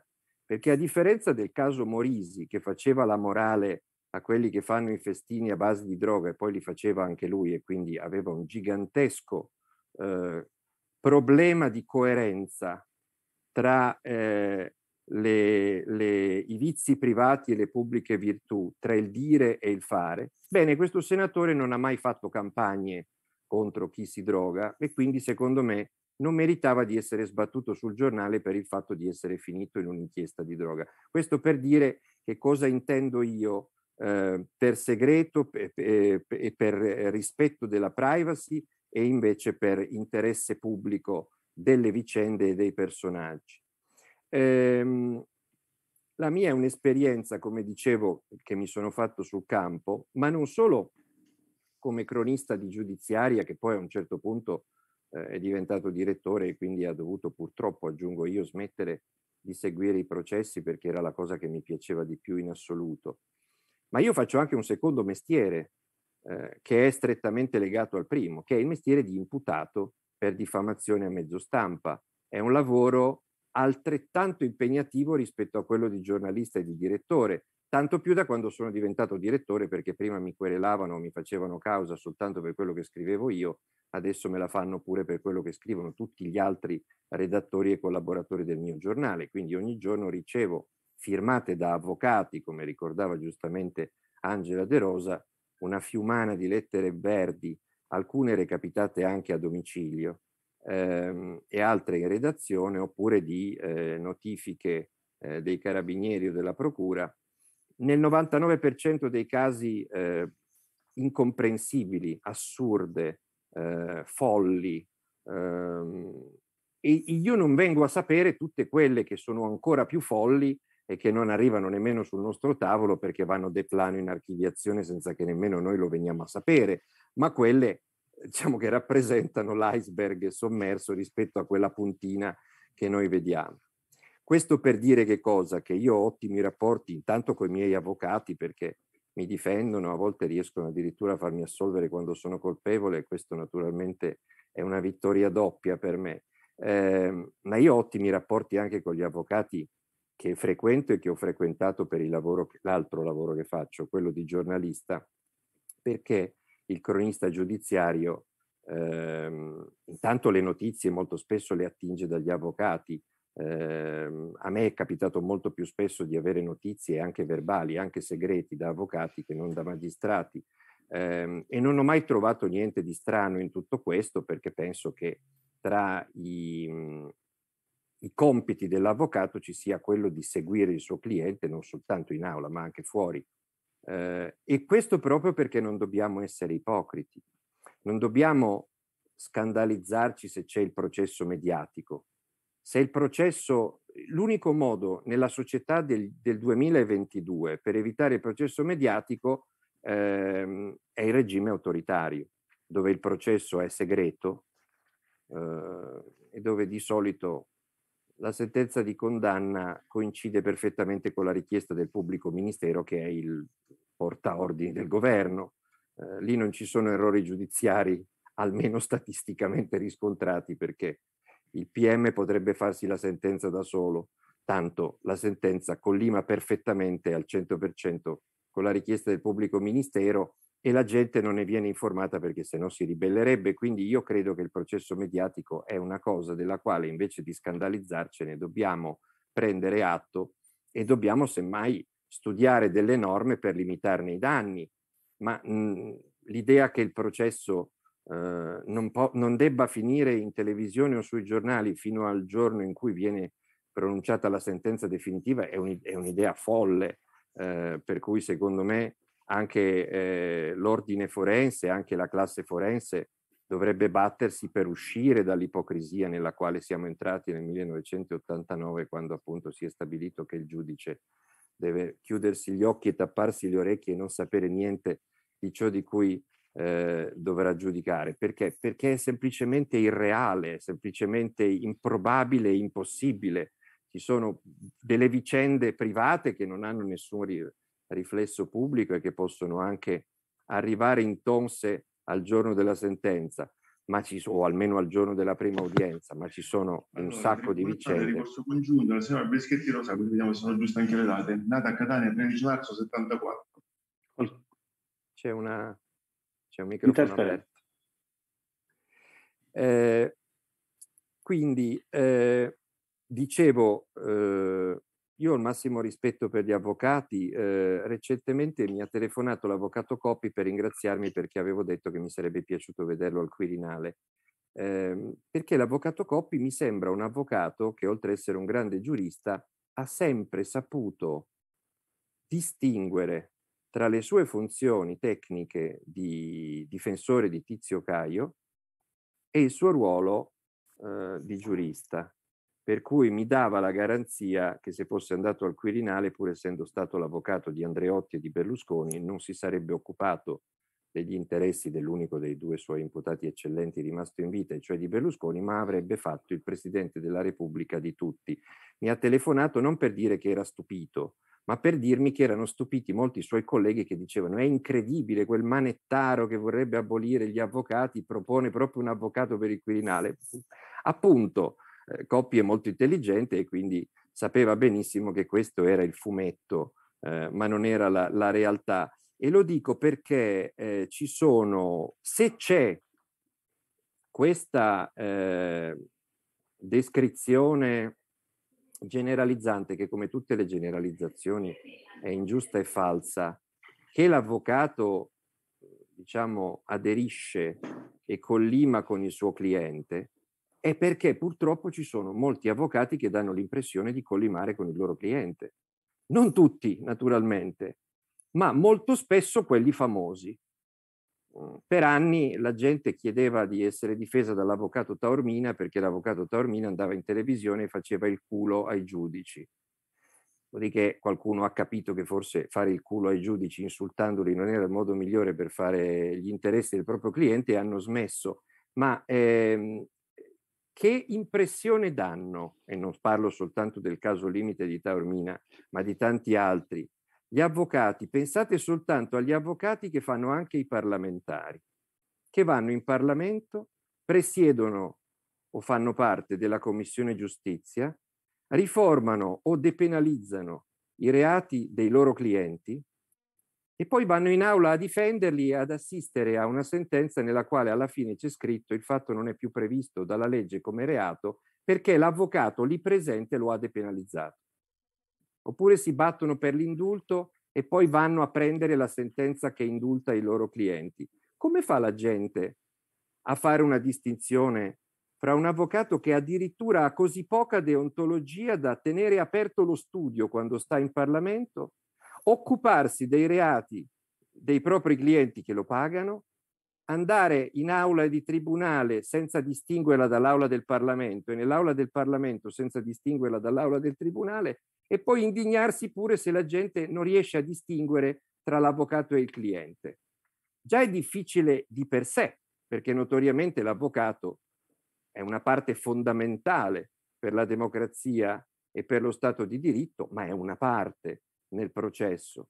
Difende la parte eh, che gli ha commissionato la sua difesa, mentre notoriamente il pubblico ministero, se fa bene il suo mestiere, rappresenta la collettività e il giudice tanto più eh, che deve emettere la sentenza. Se poi eh, si assiste a manifestazioni che secondo me gli ordini professionali dovrebbero censurare molto più severamente di quello che fanno o non fanno, è difficile eh, e secondo me un danno per tutti quegli avvocati, credo siano la maggioranza, che non vanno in Parlamento, non vanno in televisione e sanno perfettamente distinguere la, la, tra sé, la propria funzione e quella del proprio cliente. Ho fatto quella frase perché mi è capitato, nella mia professione di, di giornalista, di leggere delle sentenze di condanna a carico di poliziotti al servizio dei mafiosi, di magistrati al servizio dei mafiosi, di politici al servizio dei mafiosi, di preti e anche un monsignore al servizio dei mafiosi, di medici al servizio dei mafiosi e anche di avvocati al servizio dei mafiosi. E io credo che eh, se uno esce dall'ipocrisia e va a calarsi nella realtà delle zone di mafia e sa qual è la difficoltà che ha un avvocato nel difendere il proprio cliente capomafia, se non è tutelato dallo Stato e anche dalle leggi, e beh, eh, non si scandalizza di quella mia frase che poteva anche essere provocatoria, ma nascondeva una verità. Io se, se seguo i processi eh, mi faccio una certa idea. Ho seguito per esempio il processo per le tangenti Fiat. I dirigenti, i massimi dirigenti della Fiat erano tutti difesi da un famosissimo avvocato di Torino, che adesso non c'è più e che quindi non nomino, fino al momento in cui qualcuno di loro decideva di dissociarsi dalla linea ufficiale dell'azienda, che era negare tutto, anche di chiamarsi Fiat, e cominciare ad ammettere la verità, cioè che la Fiat pagava tangenti come tutti gli altri grandi gruppi imprenditoriali. E cosa faceva? La prima cosa che faceva il manager che si dissociava dalla linea aziendale. Dismetteva il mandato all'avvocato dell'azienda e se ne prendeva un altro. Dato che Torino è la città più mafiosa che c'è dopo Palermo, e ve lo dice un torinese, quel manager che si chiamava Mosconi e che si dissociava dall'avvocato che avrebbe dovuto eh, difendere lui, ma che in realtà difendeva la linea dell'azienda, che era esattamente l'opposta alla sua, ha dovuto andare ad Asti a trovarsi un avvocato, perché a Torino non ha trovato un solo avvocato disposto a difendere uno che voleva dire il contrario di quello che voleva dire la Fiat. Questa cosa a Locri, a Palermo, a Trapani, a Napoli, a Castellammare, ma anche nelle, nei processi di drangheta o di mafia o di camorra che si fanno sul litorale laziale o in Lombardia o, nelle, o, o in Val d'Aosta o in Val di Susa dove ci sono grandi eh, insediamenti mafiosi, avviene nei processi di mafia. La cosca ti paga l'avvocato e ti paga lo stipendio alla famiglia mentre tu stai in carcere e non parli. Che, qual, qual è il primo atto che fanno quando uno decide di collaborare con la giustizia? Il primo atto che fanno è portargli via la famiglia perché la prima cosa che farà l'avvocato è avvertire la cosca che Tizio si è pentito e ha cambiato avvocato. Questa cosa la vogliamo dire perché è vera e succede sempre. Allora, secondo me, per mettere al riparo un avvocato dalle minacce e dalle intimidazioni della cosca è quella di far sapere al mafioso che se scrive all'avvocato di ordinare un delitto o di dare un qualsiasi tipo di input alla cosca, visto che lui ha il 41 bis e non lo può fare, e fargli sapere che comunque il suo messaggio verrà visto da qualcun altro e che quindi è inutile che ci provi con l'avvocato. Perché certo ci sono anche degli avvocati eroi che si fanno ammazzare. A Torino Fulvio Croce si è fatto ammazzare pur di difendere le Brigate Rosse che rifiutavano di avere l'avvocato per far saltare il processo. Io sono torinese e vivo nel culto di Fulvio Croce a cui è dedicata l'aula dell'Ordine degli Avvocati nel Tribunale di Torino. Ci sono degli avvocati eroi. Io personalmente non credo che riuscirei a farmi ammazzare. E penso a, ai tanti avvocati che quando si trovano di fronte il boss che devono difendere, se tentano di resistere, beh, meritano di essere aiutati. E io credo che una norma che avverta il boss che i suoi ordini di morte al suo avvocato, anche se glieli passa, verranno visti da qualcuno, sia un'ottima norma a tutela dell'incolumità di quell'avvocato. Esattamente come io penso che fosse geniale la norma che aveva introdotto Giovanni Falcone a tutela dei giudici, che stabiliva l'obbligo di custodia cautelare per i reati di mafia. Perché se c'è la facoltà di custodia cautelare, ma c'è anche la facoltà di non custodia cautelare, è tutto sulle spalle del giudice. E se il tu mafioso sai che il giudice non può non arrestarti perché ti deve arrestare, non te la prendi col giudice, te la prendi semmai con la legge. Se invece il giudice ha la facoltà di arrestarti, ma anche la facoltà di lasciarti a piede libero, e allora penserai che ce l'ha con te. Quindi ci sono delle norme che per la vita vissuta concreta de- nelle zone di mafia è è meglio che ci siano. Esattamente come l'altra norma, secondo me geniale, che il massimo conoscitore di criminalità organizzata, che era Giovanni Falcone, ha voluto fare, ed era quella che imponeva l'arresto in flagranza per il, il testimone falso o reticente. Non la facoltà, l'obbligo di custodia cautelare. Infatti quell'obbligo di custodia cautelare mandava un messaggio molto preciso. Lo sappiamo che tu testimone sei sottoposto a pressioni e a condizionamenti dell'ambiente mafioso. Però sappi che se menti finisci dentro. E quindi tu potrai andare a dire a chi ti ha detto di stare zitto, guarda che io ho dovuto parlare perché sennò finivo dentro. E questo deresponsabilizza quella scelta. Queste sono norme che sono tipiche di chi vuole uscire dall'ipocrisia, giustizialismo, manettarismo, garantismo, eccetera, e vuole calarsi nella realtà concreta di questo paese che ha notoriamente tre regioni e varie zone a macchia di leopardo sotto il controllo militare di organizzazioni criminali. Siamo gli unici, però lo dobbiamo sapere e dobbiamo uscire dall'ipocrisia senza pensare che c'è qualcuno che vuole vietare agli avvocati di fare il loro mestiere o che li vuole abolire, perché io sono l'ultimo per la mia professione di imputato che vuole fare né l'una cosa né l'altra. Chiudo, perché vi ho già tediati forse troppo, eh, con due notazioni eh, esperienziali sulle norme eh, sono 30 anni che cercano di impedirci di pubblicare i verbali, le intercettazioni, eccetera, eccetera. E spesso in questa battaglia io ci vedo molte associazioni, non tutte per la verità, degli avvocati. Io sono invece del parere totalmente opposto.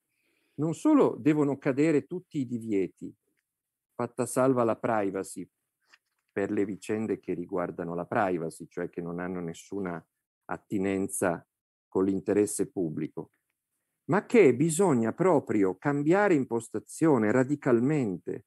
Io sposo da sempre la tesi dell'avvocato Malavenda, altro grande esperto di diritto dell'informazione, che dice che i giornalisti, come gli avvocati, dovrebbero avere accesso agli atti, invece di andarli a piatire e a elemosinare da Tizio Caio di straforo.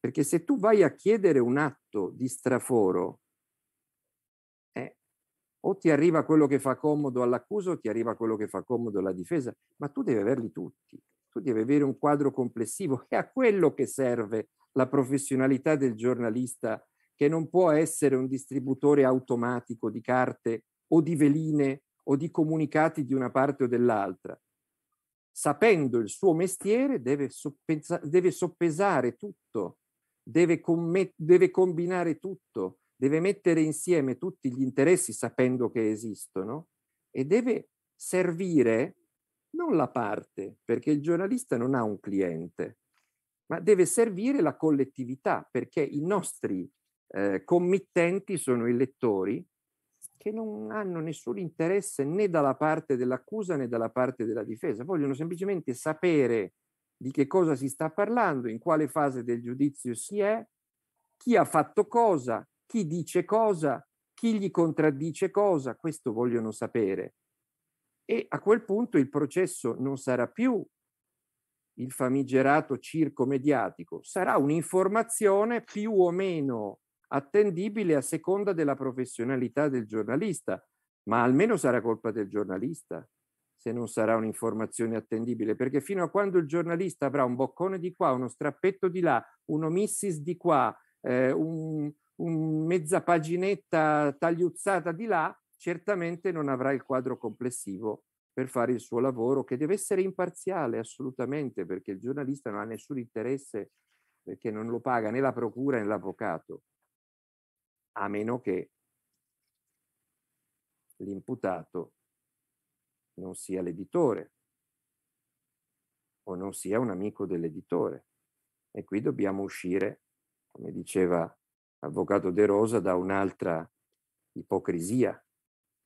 Oggi la gran parte dei processi che vengono definiti mediatici perché hanno interesse pubblico, sono i processi ai padroni di questo paese.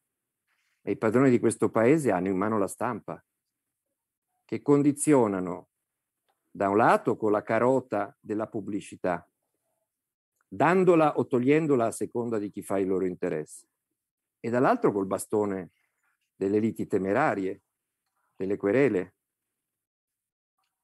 E questo noi non, lo possiamo, non ce lo possiamo nascondere, perché la narrazione eh, della giustizia in questo paese è, con, è pesantemente condizionata dal fatto che i padroni dei giornali sono quasi tutti sotto processo, o se non lo sono più lo sono stati, o se non lo sono loro lo sono i loro amici.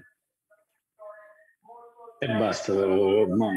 Difficilmente a 30 anni da mani pulite avremmo letto un, una tale profluvie di palle, di revisionismi, di negazionismi, di scemenze, eh, di, di falsificazioni se i giornali e le televisioni non fossero in mano ai principali imputati o condannati di questo paese. Io l'altro giorno ho visto addirittura la beatificazione di Gabriele Cagliari. Gabriele Cagliari era il presidente dell'ENI che in Svizzera aveva un conto personale con 13 miliardi di lire e dopo che si è ammazzato in carcere sua moglie è andata a svuotare e ha restituito all'ENI. Io non ho conti in Svizzera, non ne ho mai avuti, ma se uno ha un conto in Svizzera e la vedova dopo il suicidio va a prendere quei soldi invece di tenerseli, li restituisce a Leni, e vuol dire che il marito li ha rubati a Leni, perché altrimenti sarebbero stati i risparmi della sua vita e sarebbero rimasti alla sua famiglia.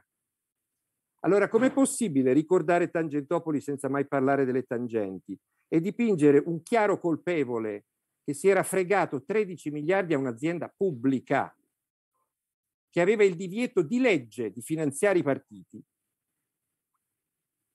per un martire innocente che è stato ammazzato in carcere dai giudici.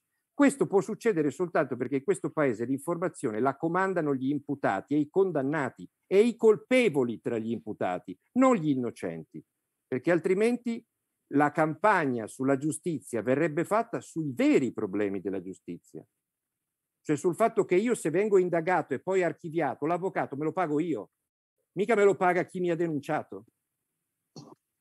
È garantismo questo? Qualcuno ha mai fatto una battaglia su questo?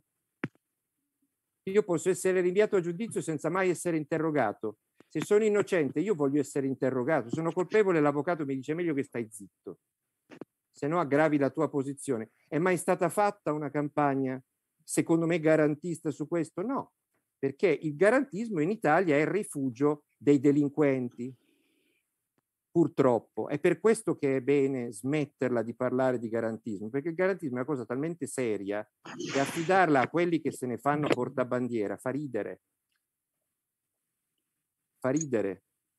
Io, il, il, per me il garantismo è che se io voglio criticare asperrimamente un potente, lo devo poter fare senza che nessuno mi denunci. E se qualcuno mi denuncia, quella roba lì deve finire immediatamente nel cestino perché sono le mie idee.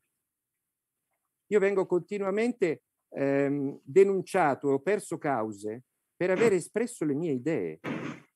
E dato che io mi diverto a cercare di sgomitare ogni giorno per allargare un pochino l'ambito del dicibile, ogni tanto mi va bene, ogni tanto mi va male. Mi hanno condannato a 15.000 euro per una battuta perché il giudice non l'ha capita ma sono queste le, le, le riforme che andrebbero fatte se volessimo essere garantisti. In America Michael Moore ha fatto un libro sul presidente degli Stati Uniti in carica, George W. Bush, intitolato Stupid White Men. Secondo voi chi l'avrebbe pubblicato in Italia? Un libro intitolato Stupid White Mattarella, Stupid White Draghi, Stupid White Conte, Stupid White Renzi. Nessuno. Perché? Perché da noi eh, si continua nel 2022 a confondere un'opinione con un fatto determinato falso. Per cui io faccio le battaglie per difendere il mio diritto e quello degli altri di esprimere le proprie opinioni e mi ritrovo al fianco gente che per vent'anni ha scritto che Di Pietro prendeva le tangenti, mentre notoriamente non ha mai preso un euro. O che la Boccassini rapiva le bambine, mentre la Boccassini non ha mai rapito nessuno. E vi pare normale che lo stesso reato punisca il mio ritenere che un potente è un cretino con il fatto di scrivere che Tizio ha rubato, mentre non è vero. E ancora a questo siamo nel 2022 e pensiamo che il problema sia che ci sono i manettari e i garantisti. Non ci sono né i manettari né i garantisti, non c'è niente. Sono, tutti, sono tutte parole vuote, perché se il garantismo avesse un senso noi non avremmo più i delitti di opinione. Avremmo una seria rettifica, avremmo una seria punizione delle liti temerarie, avremmo una cauzione messa lì da chi ti chiede i soldi in proporzione a quanti te ne chiede e se perde i soldi li dà lui a te per il danno che ti ha fatto. Perché se io ricevo una causa da un miliardo, come mi è successo 12 eh, volte con Berlusconi e con Mediaset e con Fininvest e con Forza Italia e con Tremonti, perché poi quando si tratta di denunciare diventano mostri a sei teste, per una trasmissione per un libro nel 2001, mi spavento, mi spavento. Poi alla dodicesima non ci faccio più caso perché penso, tanto io un miliardo non ce l'ho e quindi non me lo possono togliere, ma c'è gente che si spaventa la prima volta che le riceve quelle cose e quindi va risarcita. E noi siamo all'anno zero su questo, nonostante che siamo pieni di sedicenti garantisti o di persone che pensano che riformare la giustizia sia appunto separare le carriere o vietare ai giornalisti di pubblicare i verbali, che è una boiata pazzesca, perché siamo nella società mediatica e quindi eh, tenere i segreti eh, non ci riescono più nemmeno i servizi segreti. Io ho litigato con molti avvocati perché spesso il processo mediatico lo fanno loro, io ho litigato con la Buongiorno e con Ghedini perché continuavano ad andare in televisione a dire di aver vinto i processi perché il loro cliente si era prescritto. E non si può fare disinformazione sulla prescrizione. Eh, esatto. Non si può fare disinformazione sulla prescrizione. Se Andreotti c'è scritto che è colpevole di associazione mafiosa fino alla primavera del 1980, non puoi metterti a strillare assolto, assolto, assolto, perché tanto sai che c'è un sacco di gente che se la beve. Non è vero che è stato assolto. È stato assolto dopo il 1980 e prima noi, noi dovremmo sapere che abbiamo avuto un presidente del Consiglio sette volte che è stato associato con Cosa Nostra dal dopoguerra al 1980, che è un bel periodo.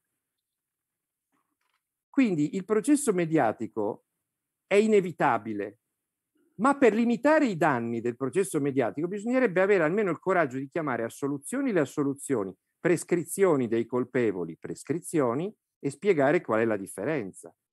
Altrimenti nessuno può lamentarsi. E io, io naturalmente mi sono difeso in quelle cause per dire che cos'è la prescrizione attraverso avvocati che lo sanno benissimo che cos'è la prescrizione. Quindi c'è malafede quando qualche avvocato cerca di spacciare il suo cliente prescritto per uno che è stato arrestato per sbaglio. L'errore giudiziario è quando prendi uno al posto di un altro, non quando si prescrive il reato che è accertato o magari è stato fotografato o addirittura filmato. La realtà parallela è anche questa. Non è soltanto quella costruita da quei dementi che fanno il controinterrogatorio al testimone del processo a Grillo Junior senza nemmeno che sia stato sentito dal giudice. Su quello, secondo me, una norma ci potrebbe anche stare, si potrebbe anche stabilire che certe cose non si possono fare, perché è troppo quello. Dire che c'è un processo, dire che cosa dice l'accusa e che cosa dice la difesa è giusto, vista la rilevanza pubblica, controinterrogare in televisione il testimone, forse è troppo, forse si può vietare quello. Quindi non è che va tutto bene. E io credo che il discrimine sia proprio questo. Il buonsenso, lo spazzare via l'ipocrisia e, e, e i luoghi comuni e il tenere sempre presente la giurisprudenza europea che è un po' più avanti della nostra, che stabilisce un, uno spartiacque nettissimo tra le questioni che hanno interesse pubblico e le questioni che attengono al privato. del privato non deve fregare niente a nessuno, a meno che non abbia una rilevanza pubblica per un qualche tipo di, di ragione che naturalmente va argomentata. Ma io credo che se partiamo da questo eh, ci guadagniamo e possiamo fare anche un sacco di battaglie insieme, perché poi vi assicuro che a me non mi paga mica le procure, anzi, come sa ben Angela, io ho denunce da parte di procuratori e addirittura di un'intera corte, eh, di un'intera corte d'appello. Eh, mi hanno denunciato in tre perché ho osato criticare la loro sentenza, quindi figuriamoci. Vi ringrazio, scusate se mi sono dilungato. Sì, grazie dottor Travaglio. Eh, anche noi la pensiamo come lei che chi ruba deve andare in galera, ma anche deve essere adeguatamente assistito, questo aggiungo. Certo. Quindi su quello eh, credo che non ci siano dubbi e credo che sia assolutamente assodato. Anche la violazione dei segreti, voi eh, dovete violare i segreti, però è anche vero che mh, spesso la violazione del segreto comporta la distruzione di una persona e poi se dovesse arrivare l'assoluzione, l'assoluzione non fa notizia, di questo mi deve dare atto, cioè nel senso che eh, se si viene arrestati eh, o se fuoriesce un'informazione di garanzia per l'imputato eccellente, si dà grandissimo risalto perché ovviamente l'opinione pubblica eh, è ghiotta di notizie del genere, poi se viene archiviato, viene, assol- allora viene assolto, mh, mm, se si fa un trafiletto eh, è tanto. Anche questo, io sono d'accordo con lei, eh, il giornalista deve riportare la notizia, allo stesso modo per una questione di eh, deontologia dovrebbe portare, dare lo stesso risalto alla notizia dell'assoluzione laddove intervenga l'assoluzione. Allora sono d'accordo con lei, come vede ci ritroviamo che effettivamente ormai in un mondo uh, mediatico le notizie devono essere date, ma devono essere date con, stesso, con la stessa misura. Altro aspetto per quanto riguarda la difesa dei detenuti in regime di 41 bis. Allora, noi praticamente abbiamo un articolo 3 della Costituzione che dice che siamo tutti uguali, cioè il principio di uguaglianza.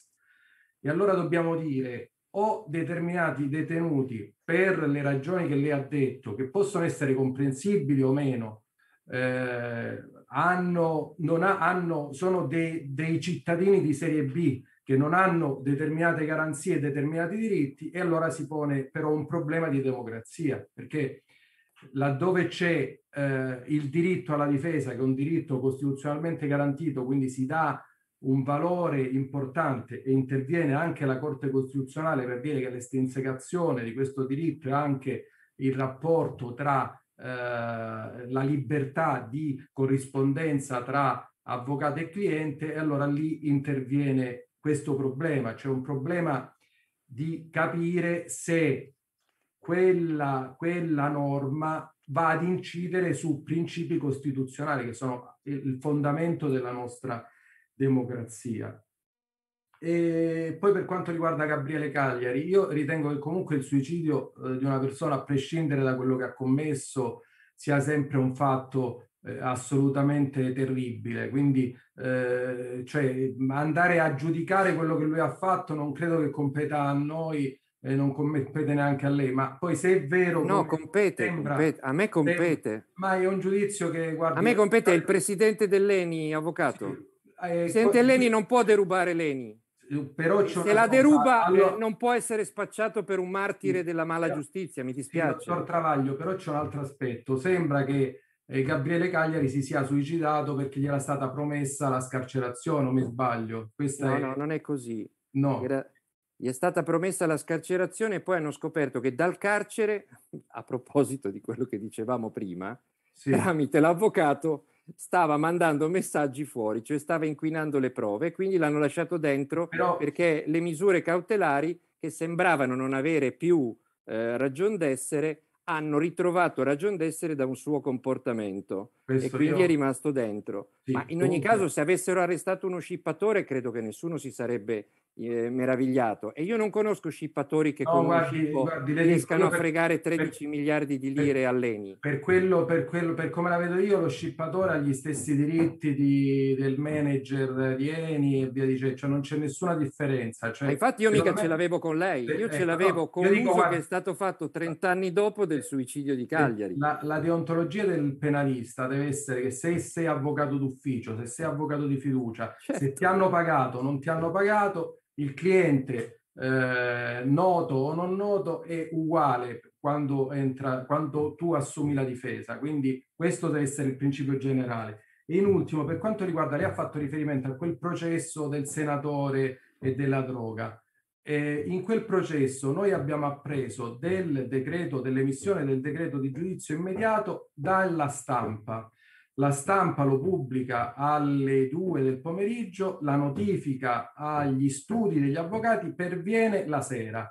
Anche ma, questo malissimo. ritengo che non sia corretto. Io capisco malissimo. che bisogna violare, bisogna violare, i segreti, però è anche, cioè delle, ci sono delle norme che vengono eh, sistematicamente violate e anche lì ci sono anche mh, delle problematiche da affrontare da una parte e dall'altra eh, mi taccio perché io non sono relatore, sono solo moderatore, cioè soltanto era per confrontarmi un attimo con lei. Lascio la parola a Giuseppe Belcastro che eh, ha risposto ad uno, ha risposto e ci, ci dirà eh, come la pensa su, sempre sullo stesso articolo. Sì, buonasera, buonasera dottor Travaglio, buonasera a tutti i relatori. Eh, io a differenza di Domenico non condivido quasi nulla di quello che ha detto, ma insomma questo è un fatto eh, devo dire che mi sono interrogato per, perché poi lei è, diciamo, declina bene gli argomenti.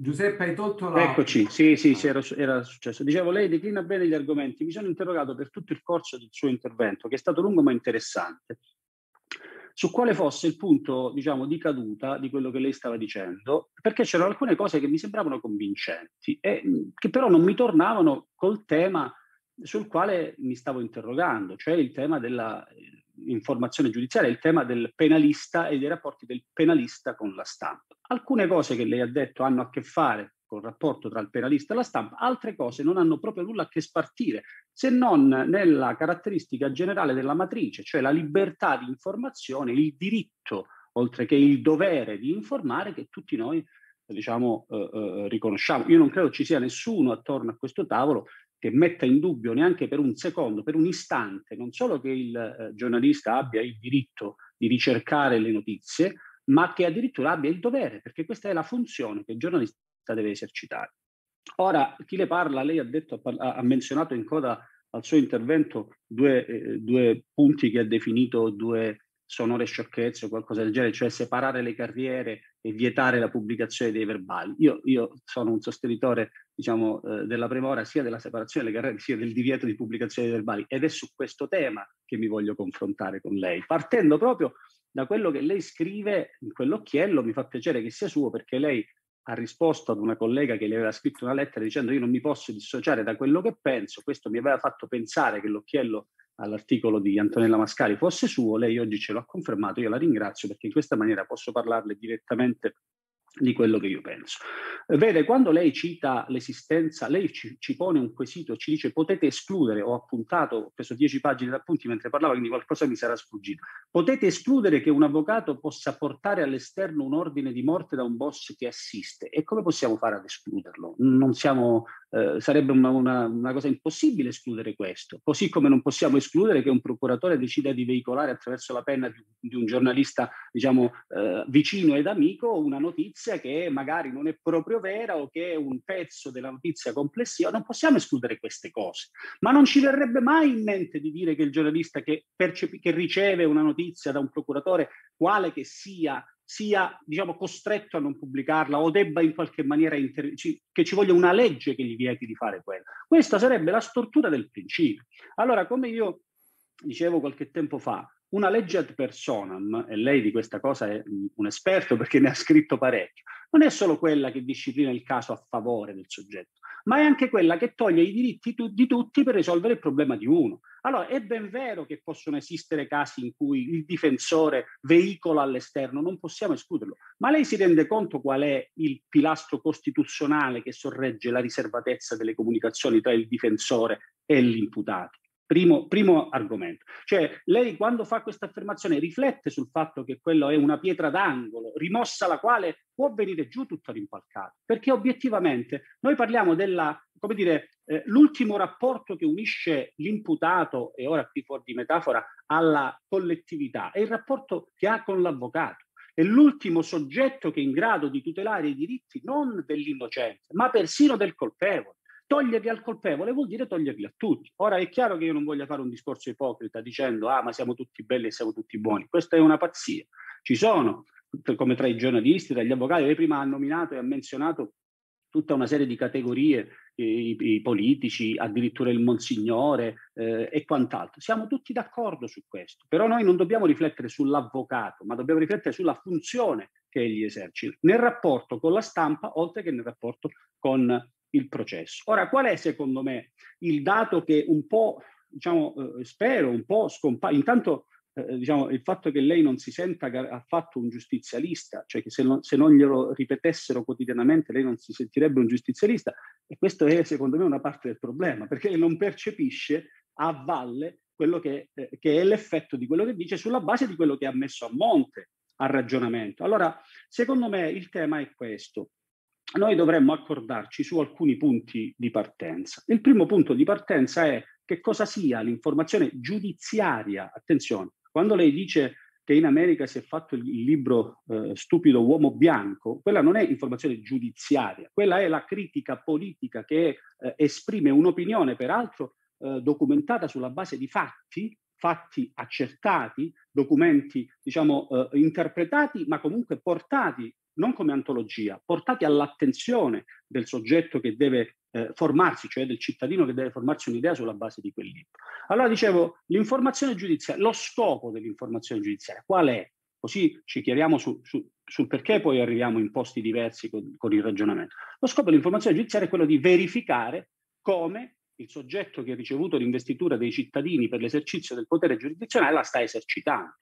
Se si mette questa cartina al tornasole sul tavolo e del giornalista, e dell'avvocato, e del pubblico ministero, lascio fuori il giudice che in questa storia purtroppo, io dico, non c'entra niente, poi vedremo perché ritengo purtroppo. Allora forse ci possiamo, eh, eh, eh ci possiamo soffermare a ragionare perché noi siamo così sideralmente distanti nelle posizioni che esprimiamo. Perché lei, vede, dottor Travaglio, lei si appunta su fatti, come dire, eh, incontestabili sotto il profilo degli accadimenti. Lei dice delle cose che ciascuno di noi non si sognerebbe mai di negare. Il problema è che ne trae delle conseguenze di carattere generale, laddove queste conseguenze di carattere generale farebbero più danno che beneficio rispetto a quello che succede. Ora, che cos'è l'informazione giudiziaria? L'informazione giudiziaria è il veicolare al cittadino la modalità con cui la funzione giurisdizionale viene esercitata, consentendo quel controllo che una volta si esercitava in maniera, in maniera magari diretta, partecipando ai processi e quant'altro. E allora, se questo è l'obiettivo, la domanda che mi pongo e che le pongo, io non so, non credo ci sia tempo per un altro giro, ma speriamo di poter proseguire in un altro momento. No? Dicevo, che cosa, in che modo il pubblicare stralci di un verbale o frasi virgolettate di una intercettazione può contribuire a dimostrare o a spiegare al cittadino come viene esercitata la funzione giurisdizionale? Perché questo è il vero tema. Io ho letto recentemente l'articolo di, un, di quello che ritengo uno dei diciamo, più attenti eh, giornalisti eh, sul panorama nazionale, che è Mattia Feltri che ha scritto un articolo sulla, eh, sul disastro del Rigopiano, non so se lei ha avuto modo di leggerlo, in cui ha preso questa frase che è stata citata come il sintomo, come eh, la prova di, una, mh, di, uno strafottente menefreghismo del soggetto che avrebbe invece dovuto prendersi cura di quello che, che andava accadendo. Ha avuto dire, la pazienza di leggersi un intero procedimento, un intero fascicolo di carte e di contestualizzare quella frase e di spiegare che quella frase tutt'altro poteva significare rispetto a quello che invece era stato, le era stato attribuito come significato.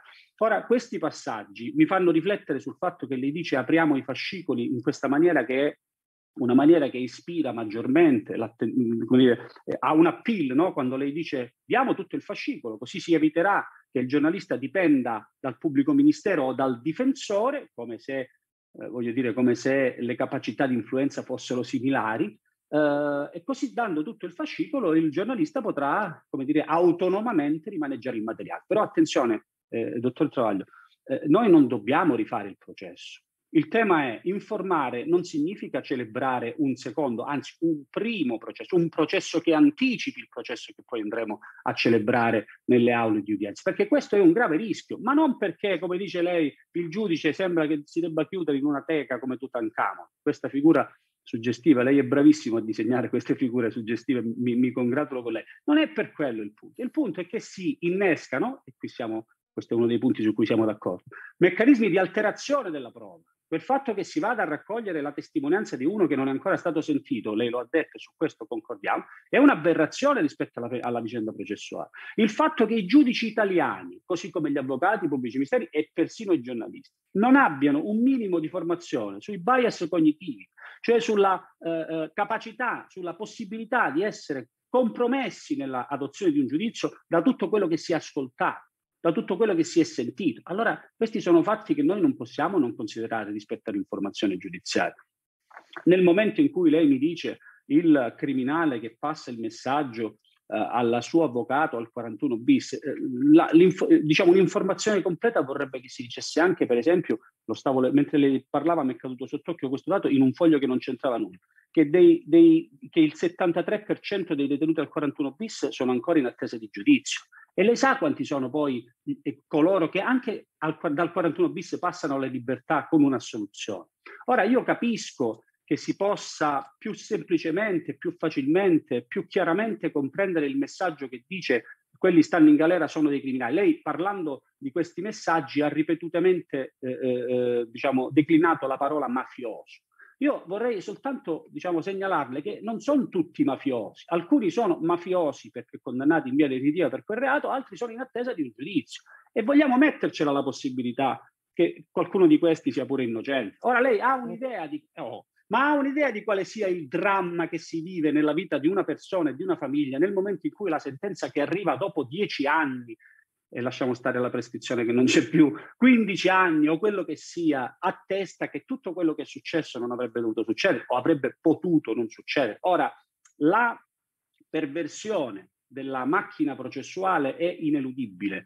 In qualche maniera il criterio della prescrizione mirava a comprimere questa perversione. Però se a questa perversione compressa quanto vogliamo, che comunque in qualche maniera rimane. Aggiungiamo persino la perversione di un procedimento mediatico che non si focalizza sul processo, dottore, perché noi parliamo di informazione giudiziaria, ma io qualche tempo fa pensavo forse dovremmo parlare di informazione investigativa, perché del processo non frega quasi più niente a nessuno.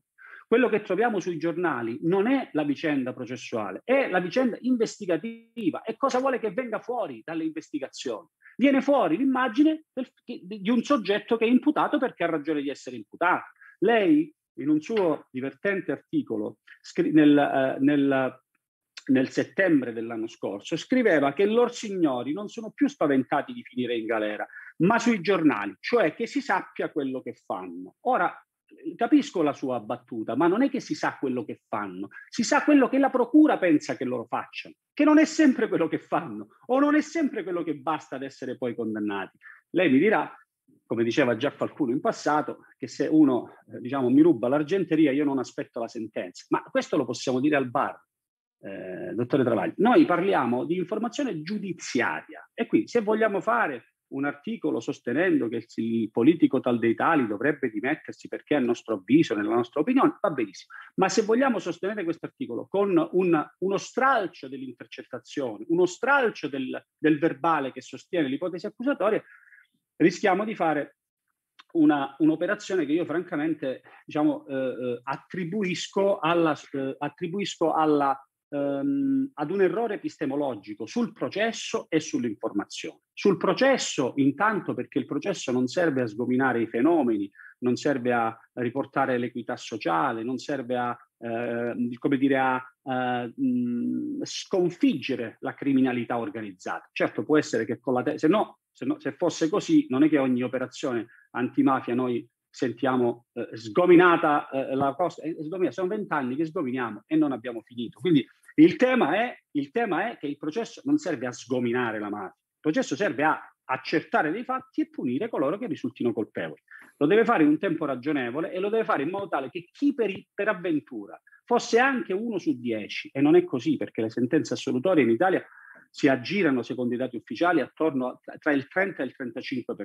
Quindi, anche se fra questi imputati ce ne fosse qualcuno, anche pochi, uno, due, tre, cinque, non lo sappiamo, che sono innocenti, noi non possiamo accettare e tollerare il rischio che oltre alla, al peso schiacciante della vicenda processuale, eh, sulle loro spalle gravi anche il peso non solo schiacciante, ma esiziale di una macchina informativa che ha distrutto l'esistenza. Ora, lei dice che questa, eh, questo decreto legislativo è una uh, demenza, così mi pare lo abbia definito questa, questa una, cosa una, una, eh, una scelta demenziale. Io invece ritengo che non lo sia, perché è vero quanto dice lei e anche Ferrarella, e prima ancora Ferrarella eh, lo, lo, lo, chiarisce con, con, una, eh, con, un certo, devo dire, con una certa eleganza, con un certo garbo, non che lei faccia meno, però lei è più spiritoso e quindi questo punto sfugge. Il tema qual è? È chiaro che diciamo, ciascun operatore del diritto e non dovrebbe in Italia avere introiettato il principio secondo cui bisogna essere continenti, bisogna es- esprimersi in una maniera tale che dalle nostre eh, dalla nostra declinazione non derivino danni eh, eh, ai soggetti che vengono coinvolti. Ma così non è. Così non è. Noi abbiamo assistito a fatti, come dire, eh, mediatici, a fatti pubblicitari, cioè ad, ad, ad attività che sono state operate dalla polizia giudiziaria al solo scopo di ehm, diciamo, diffondere lo sviluppo investigativo, sostenendolo anche con, con, dati che non sono appartenuti all'indagine. Penso al furgone di Bossetti. Ora, questo è informazione giudiziaria, a mio avviso questo non è informazione giudiziaria. Allora, cosa dice quella norma? Dice, in maniera forse un po' ingenua, che tutte le comunicazioni eh, sulla fase investigativa debbano passare dalla, dal procuratore capo, che in fondo è una, un modo per dire eh, eh, non chiudiamo i rubinetti, ma facciamo in maniera che tutti i tubi confluiscano su un unico rubinetto. Il procuratore capo di Milano mi pare si lamenti di questo fatto dalle colonne del suo giornale, se ne lamenta dicendo mi pare che ci sia tanto potere per il procuratore, per il procuratore della Repubblica. E vabbè, Ma anche l'ordine questo. forense? Siamo d'accordo. Anche l'ordine tema... forense ha parlato di, di censura strisciante, questo mi io, ha fatto molto io, piacere. Io, sono, io lo so, so, bene che l'ordine forense, io dissento da questa opinione sulla base di questa riflessione. Il procuratore che dice che si tratta di molto potere in capo alla procura, intanto mi fa un po' sorridere che il potere in capo alla procura sia, si sia scoperto adesso rispetto ad altri fatti precedenti, ma al di là di questo, è molto potere, ho paura che sia un come dire, eufemismo oppure una parola dissimulatoria di molta responsabilità. Tanto e ciò è vero che mentre alcuni procuratori, come mi pare Cantone, sicuramente lo vuoi, hanno, come dire, limitato gli interventi sulla stampa dei capi delle, delle agenzie investigative, chiamiamoli così, il procuratore di Milano, se non ho letto male perché l'ho letta velocemente, sostiene il contrario, cioè dice secondo me le interviste dei capi delle agenzie investigative non rientrano nel divieto, cioè facciano come vogliono, continuano a fare l'intervista. Ora mi spiega perché un investigatore deve fare un'intervista rivelando particolari dell'investigazione. Questa è informazione. A chi giova questo? Non giova a nessuno. Una volta che lei ha dato la notizia, una volta che c'è un arresto, lei dice l'assessore tal dei tali del comune tal dei tali è stato arrestato per questo. Ma a chi serve propalare eh, i particolari del fascicolo? Mi avvio rapidamente alla chiusura perché siamo fuori tempo, ma credo non possiate addebitarmene la responsabilità.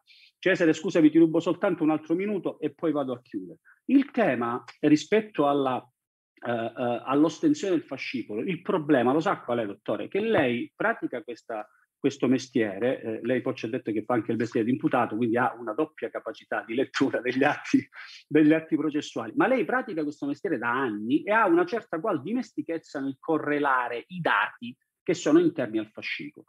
Chi come me fa questo mestiere da 25 mm, anni sa che è difficilissimo correlare tutti i dati, tanto è vero che giunti alla fine del processo ci sono due versioni dei fatti, la versione del pubblico ministero, la versione del difensore, che sono versioni basate tutte e due razionalmente, chi più chi meno, sugli stessi atti. Ora lei si immagina che cosa vorrebbe dire affidare le correlazioni tra gli atti investigativi non a Marco Travaglio che naviga queste acque da molto tempo, per quanto secondo me le navighi nella direzione sbagliata, Male. ma a giornalisti che hanno sostanzialmente eh, eh, eh una, come dire, una, diciamo così, scarsa dimestichezza col fenomeno giudiziario. E lei se legge le pagine dei giornali di oggi si, av- si avvedrà che quanto sto dicendo non è pazzia.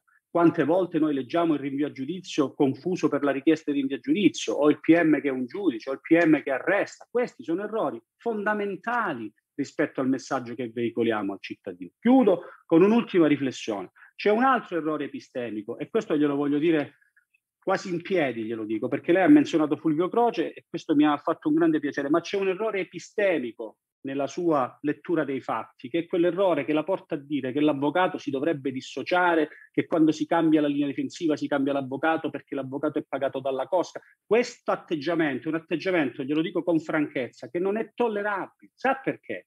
Perché sfugge prima ancora... Prego? È quello che succede però. No, purtroppo. non è quello che succede, è quello che succede se lei guarda il fenomeno sotto il profilo della ricaduta. Se lei mi, mi dedica 30 secondi ancora, vedrà come la penso io e non la penso così. Il tema è un altro.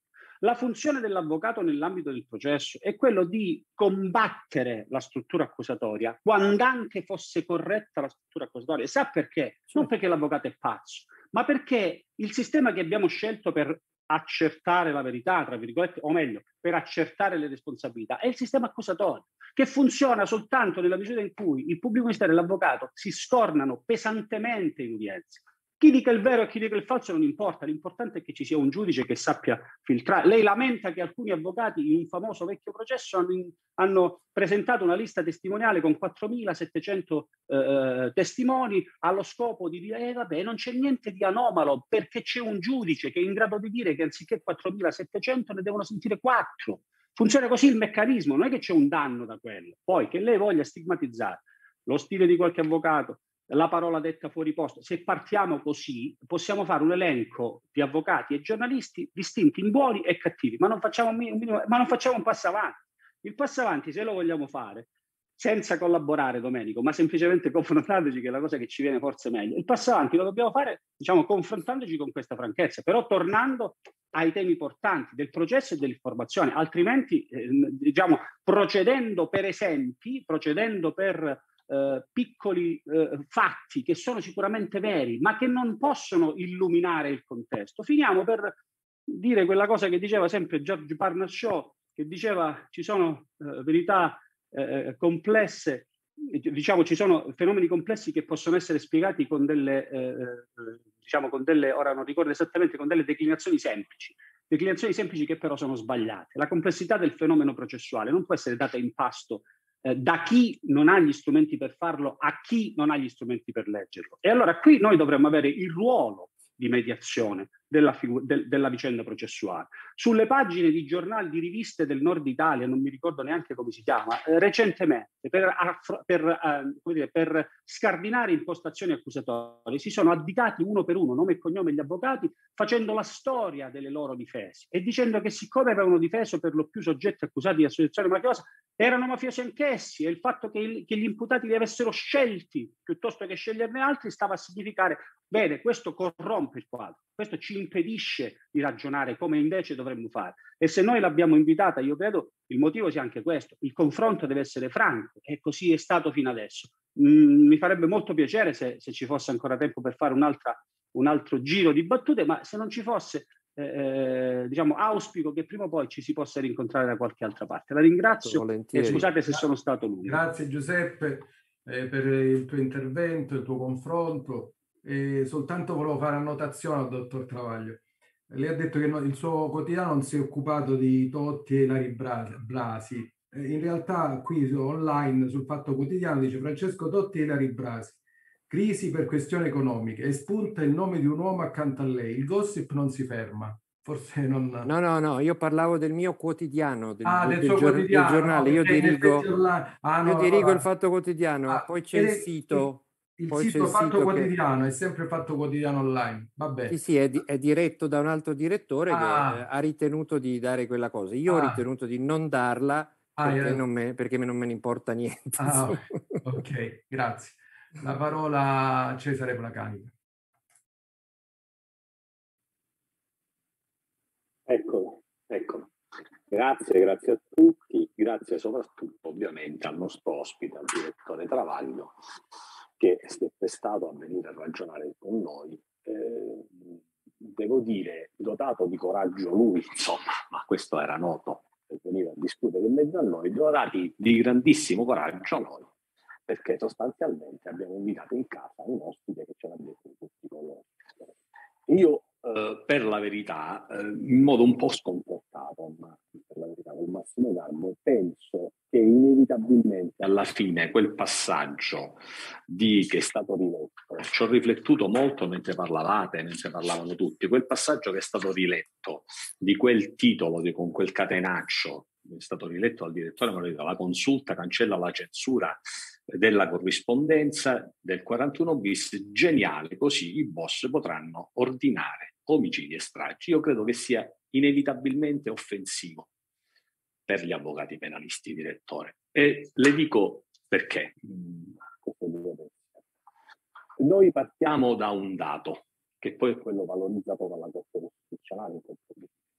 E il dato secondo cui il diritto di difesa è quello, ho capito che lei lo condivide in eh, pieno. Eh, scusami, Cesare, per il secondo lavoro. scusami Cesare se ti interrompo una comunicazione di servizio mi dicono di non muoverti perché se tu ti muovi il microfono non, non, non funziona perfettamente e quindi la metà di quello che dici non si, non si sente. Quindi se sto immobile. Perfetto, perfetto, grazie. Posso, posso, se parlo senza auricolari è meglio? Sì, forse è meglio, forse è meglio. Ah. Allora, stavo dicendo perché io credo che sia inevitabilmente offensivo. Partiamo dal condiviso. No? Il condiviso è certamente, la Corte Costituzionale l'ha chiamato il diritto di difesa, ha detto che è un principio supremo dell'ordinamento costituzionale. E certamente sappiamo, e anche questo credo che sia condiviso, che il diritto di difesa eh, si, dire, si esplicita e si declina in vari eh, aspetti. Uno degli aspetti fondamentali del diritto di difesa è la libertà di comunicazione eh, segreta e protetta tra l'avvocato e il suo assistito. Anzi, ho sbagliato a dire l'avvocato perché a noi degli avvocati non ce ne importa niente. Tra il cittadino sottoposto al processo e il suo difensore non l'avvocato, perché la categoria degli avvocati, mettiamola da parte, non ci interessa. Quindi il cittadino sottoposto a un processo, e questo ovviamente non esiste solo negli stati totalitari, voglio dire la scuola di Kiel che puniva la cattiveria del re o, o, durante Stalin era vietato il colloquio segreto tra l'avvocato e il proprio assistito. Quindi secondo passaggio io credo condiviso, il diritto di difesa è un principio supremo, si esplica e si declina anche il diritto di difesa con la possibilità di un colloquio segreto dove il cittadino possa essere diciamo consigliato tecnicamente su quali sono i problemi, non sia improvvido nelle sue scelte, può essere consigliato anche avviarsi a una, a una, come dire, a una collaborazione. Se non che il passaggio, voi potete escludere, lei tra l'altro molto drasticamente dice io non mi fido neanche del 99% dei miei colleghi, eh, eccetera, eccetera, il passaggio determinante è possibile l'accidentalia, la patologia, è possibile escludere che l'avvocato riceva una istruzione parte che la potrebbe ricevere nel colloquio di presenza, ma comunque un'istruzione a un atto illecito mediante la corrispondenza col proprio assistito e nessuno di fronte a questa domanda se è possibile può rispondere no. Il vero problema è, e che è quello che si è posto alla Corte Costituzionale, che per limitare questo dato così eh, diciamo eh, rilevante per l'ordinamento costituzionale, cioè privare il cittadino della possibilità di comunicare segretamente col proprio difensore, quel dato deve essere, come dire, pesante sotto un dato ponderale. Cioè per escludere quel passaggio noi dovremmo arrivare a considerare non una patologia isolata, come consideriamo per esempio una patologia isolata i, i, i, quelli dell'amministrazione penitenziaria che menano i detenuti e nessuno si sogna di come dire, di fare azioni punitive preventive, come con, consideriamo una patologia isolata il giornalista che diffama sistematicamente il blog e nessuno si pensa o ipotizza di censurare la stampa perché c'è la patologia delle, eh, eh delle diffamazioni. Come consideriamo una patologia diciamo non, data per, eh, non pesante sotto il profilo ponderale i pubblici ministeri corrotti. Io sto girando l'Italia facendo processi a Siracusa, a Potenza eh, eh, e in altre parti d'Italia dove procuratori della Repubblica eh, sono sotto processo per aver abusato dei loro poteri e nessuno si sogna di depotenziare il potere di un procuratore della Repubblica. Allora uno per arrivare a quella conclusione drastica di vietare un diritto così essenziale per ogni democrazia, deve pensare che c'è un dato ponderale ampio. Peraltro le dirò che non è un ragionamento che faccio solo io, perché la Corte Costituzionale si è posto esattamente questo quesito e ha detto proprio esplicitamente che per solo ipotizzare un divieto di comunicazione tra il cittadino e il suo difensore, bisognava concepire, e poi virgolettato, un generale e insostenibile presunzione di collusione tra il difensore e l'imputato. Questo è il vero passaggio che io credo renda offensivo quel, per, per tutti noi, non per quei delinquenti che si prestano a eh, eh, portare i messaggi dei mafiosi e che devono essere radiati dall'albo e mandati in carcere una volta che con le regole del giusto processo sono stati giudicati colpevoli. Quelli sono i primi nemici nostri, i nostri primi nemici. E questo concetto, e d'altronde la Carta Costituzionale dice questo dato non può mai assurgere una massima di esperienza. Allora, vede, dottore, lei butta l'acqua sporca col bambino. Questo è il vero passaggio. Perché per tutelare un dato, a meno che lei non pensa che quel dato sia ponderalmente sotto un profilo di grandi numeri esteso. Allora, se lei pensa questo, io penso che sia un'offesa alla categoria, perché non ci sono elementi per poter dire che ci sia una tale distorsione della professionalità dell'avvocato da poter pensare che in interi posti del paese ci siano miriade di avvocati asserviti alle cosche pronti a portare i messaggi illeciti alle cosche e non abbiano la spina dorsale per rifiutarsi a questo. Io questo non lo penso e non lo posso pensare e non credo di essere ipocrita nel momento in cui dico che questo non esiste. Allora, vede, io credo che alla fine, e veramente sarò brevissimo, anche richiamando gli altri passaggi, come dire, citati nel suo passaggio, per esempio l'obbligo di custodia cautelare per i mafiosi, no?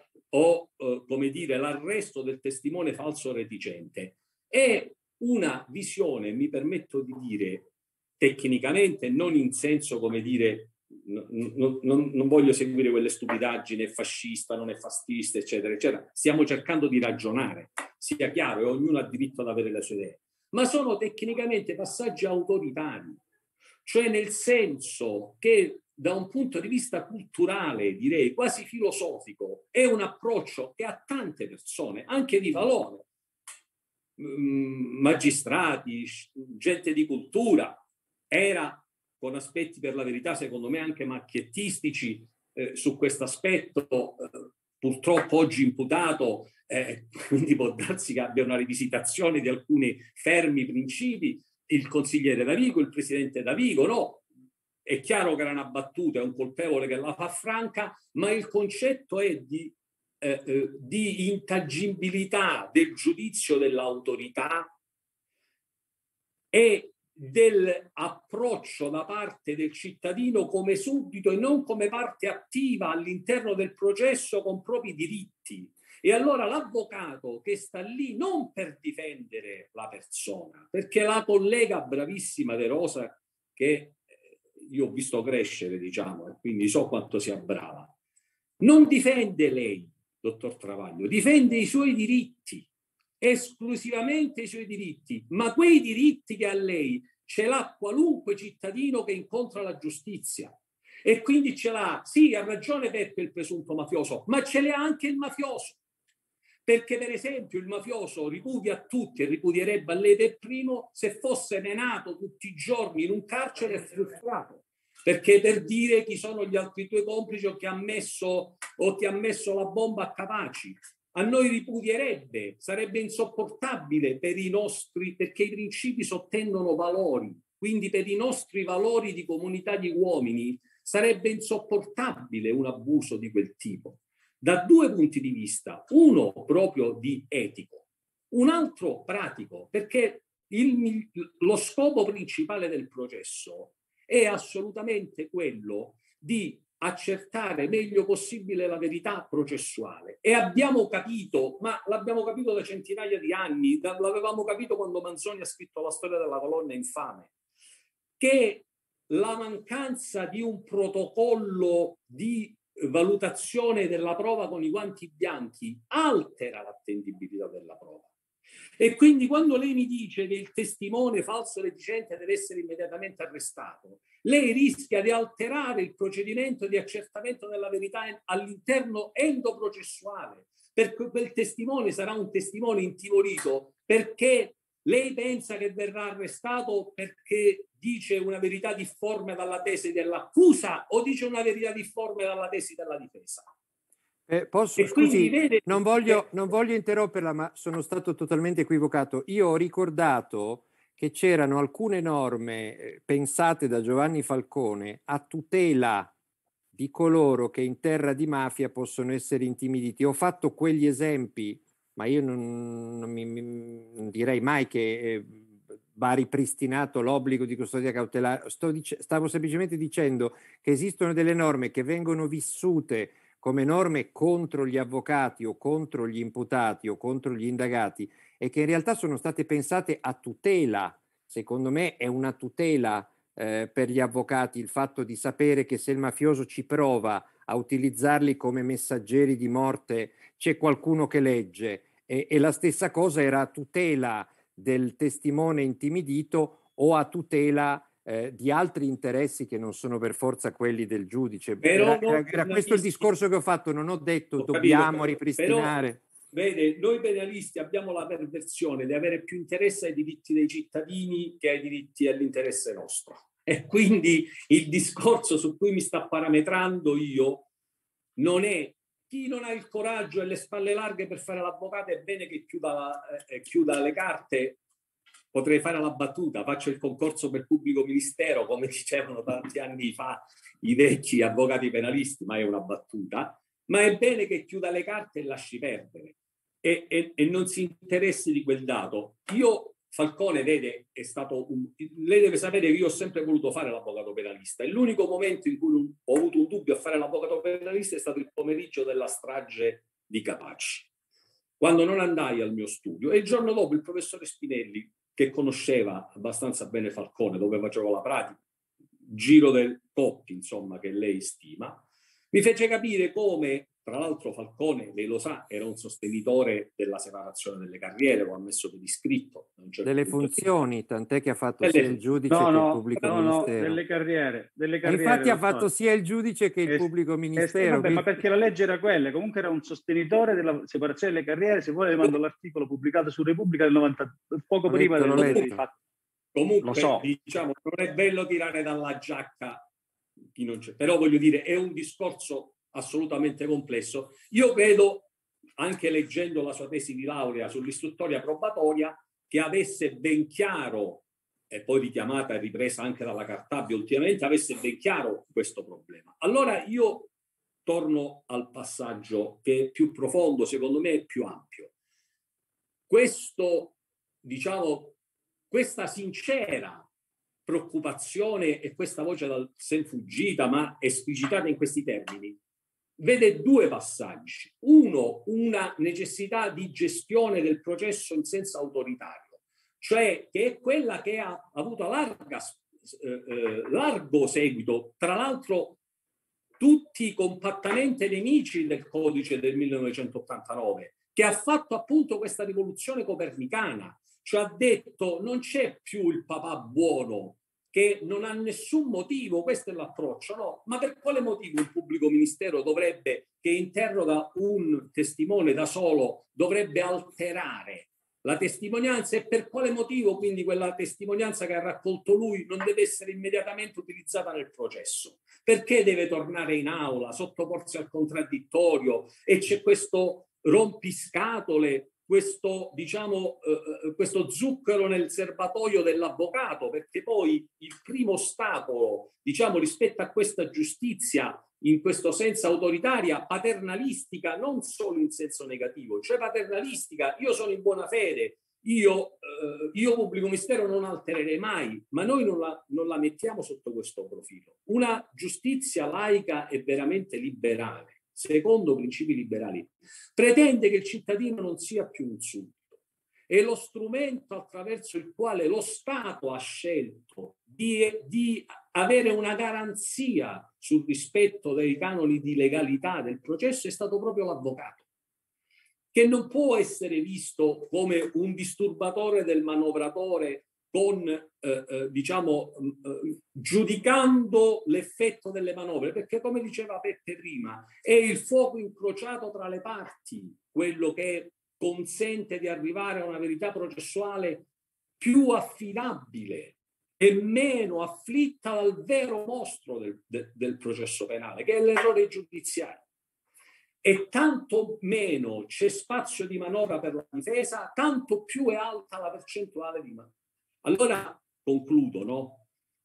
Io da ragazzino feci un processo dove c'era un'intercettazione ambientale micidiale, dove c'erano quattro narcotrafficanti che organizzavano un narcotraffico, poi c'era la, la, droga che arrivava, sempre presso questa casa dove c'era la microspia, la spartizione della droga e tutto il resto. L'unico elemento vero di prova era questa ambientale.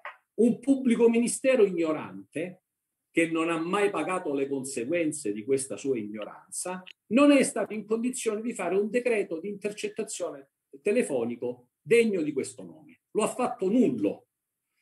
Quella intercettazione è stata dichiarata inutilizzabile. Quei narcotrafficanti che erano narcotrafficanti pacificamente sono stati assolti. Vede, dottor Travaglio, noi sull'altare di un principio più alto, che è la riservatezza delle comunicazioni, a cui nessuno penserebbe di rinunciare perché quattro narcotrafficanti sono andati impuniti, sacrifichiamo e accettiamo un'ingiustizia, perché quella era certamente un'ingiustizia. Allora il problema è di approccio. O noi facciamo, torniamo a un medioevo, come dire, di garanzie e di sensibilità giuridica e consentiamo al maresciallo dei carabinieri di fare lui l'intercettazione, per esempio, e di utilizzarla. Oppure sacrifichiamo sull'altare di un principio e di un valore più alto determinate storture, tra cui quella di alcuni scellerati e delinquenti avvocati, pochi, pochissimi secondo me, che sono in condizione di rendere quelle azioni spregevoli che lei censura nel suo titolo. Questo io credo che sia il passaggio e siccome siamo andati molto ostili, mi fermo così. Grazie. Grazie Cesare, eh, devo dire che eh, il convegno, l'incontro è stato il confronto, la collaborazione, come la vogliamo dire, con eh, il dottor Travaglia è stata eh, molto molto molto interessante. Eh, tutti gli interventi sono stati equilibrati, eh, tutti gli interventi hanno dato, abbiamo tratto spunti veramente di riflessione. Credo che ci sia materiale per altri convegni eh, e però eh, questo eh, mi, mi, convince ancora di più che eh, abbiamo fatto bene come Camera Penale di Roma a non sporgere querela nei confronti del dottor Travaglio, se no poi avrebbe detto anche di noi che la querela era strumentale, infondata è assolutamente eh, ingiusta. Quindi almeno... Avreste dato più lavoro all'avvocato De Rosa. Eh, infatti, infatti. ancora siamo ci, non ci, non ci ancora, tenti, dottore. Ancora siamo in te, ancora siamo in te. Eh, lo so. Se poi volete andare in civile ci avete cinque anni, quindi eh, ci vediamo in tribunale.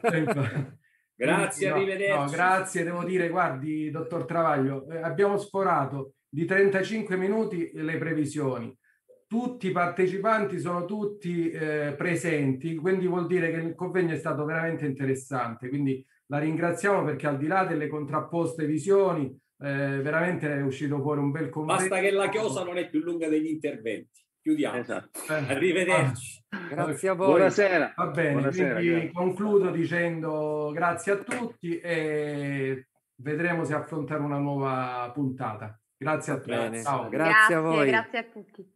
team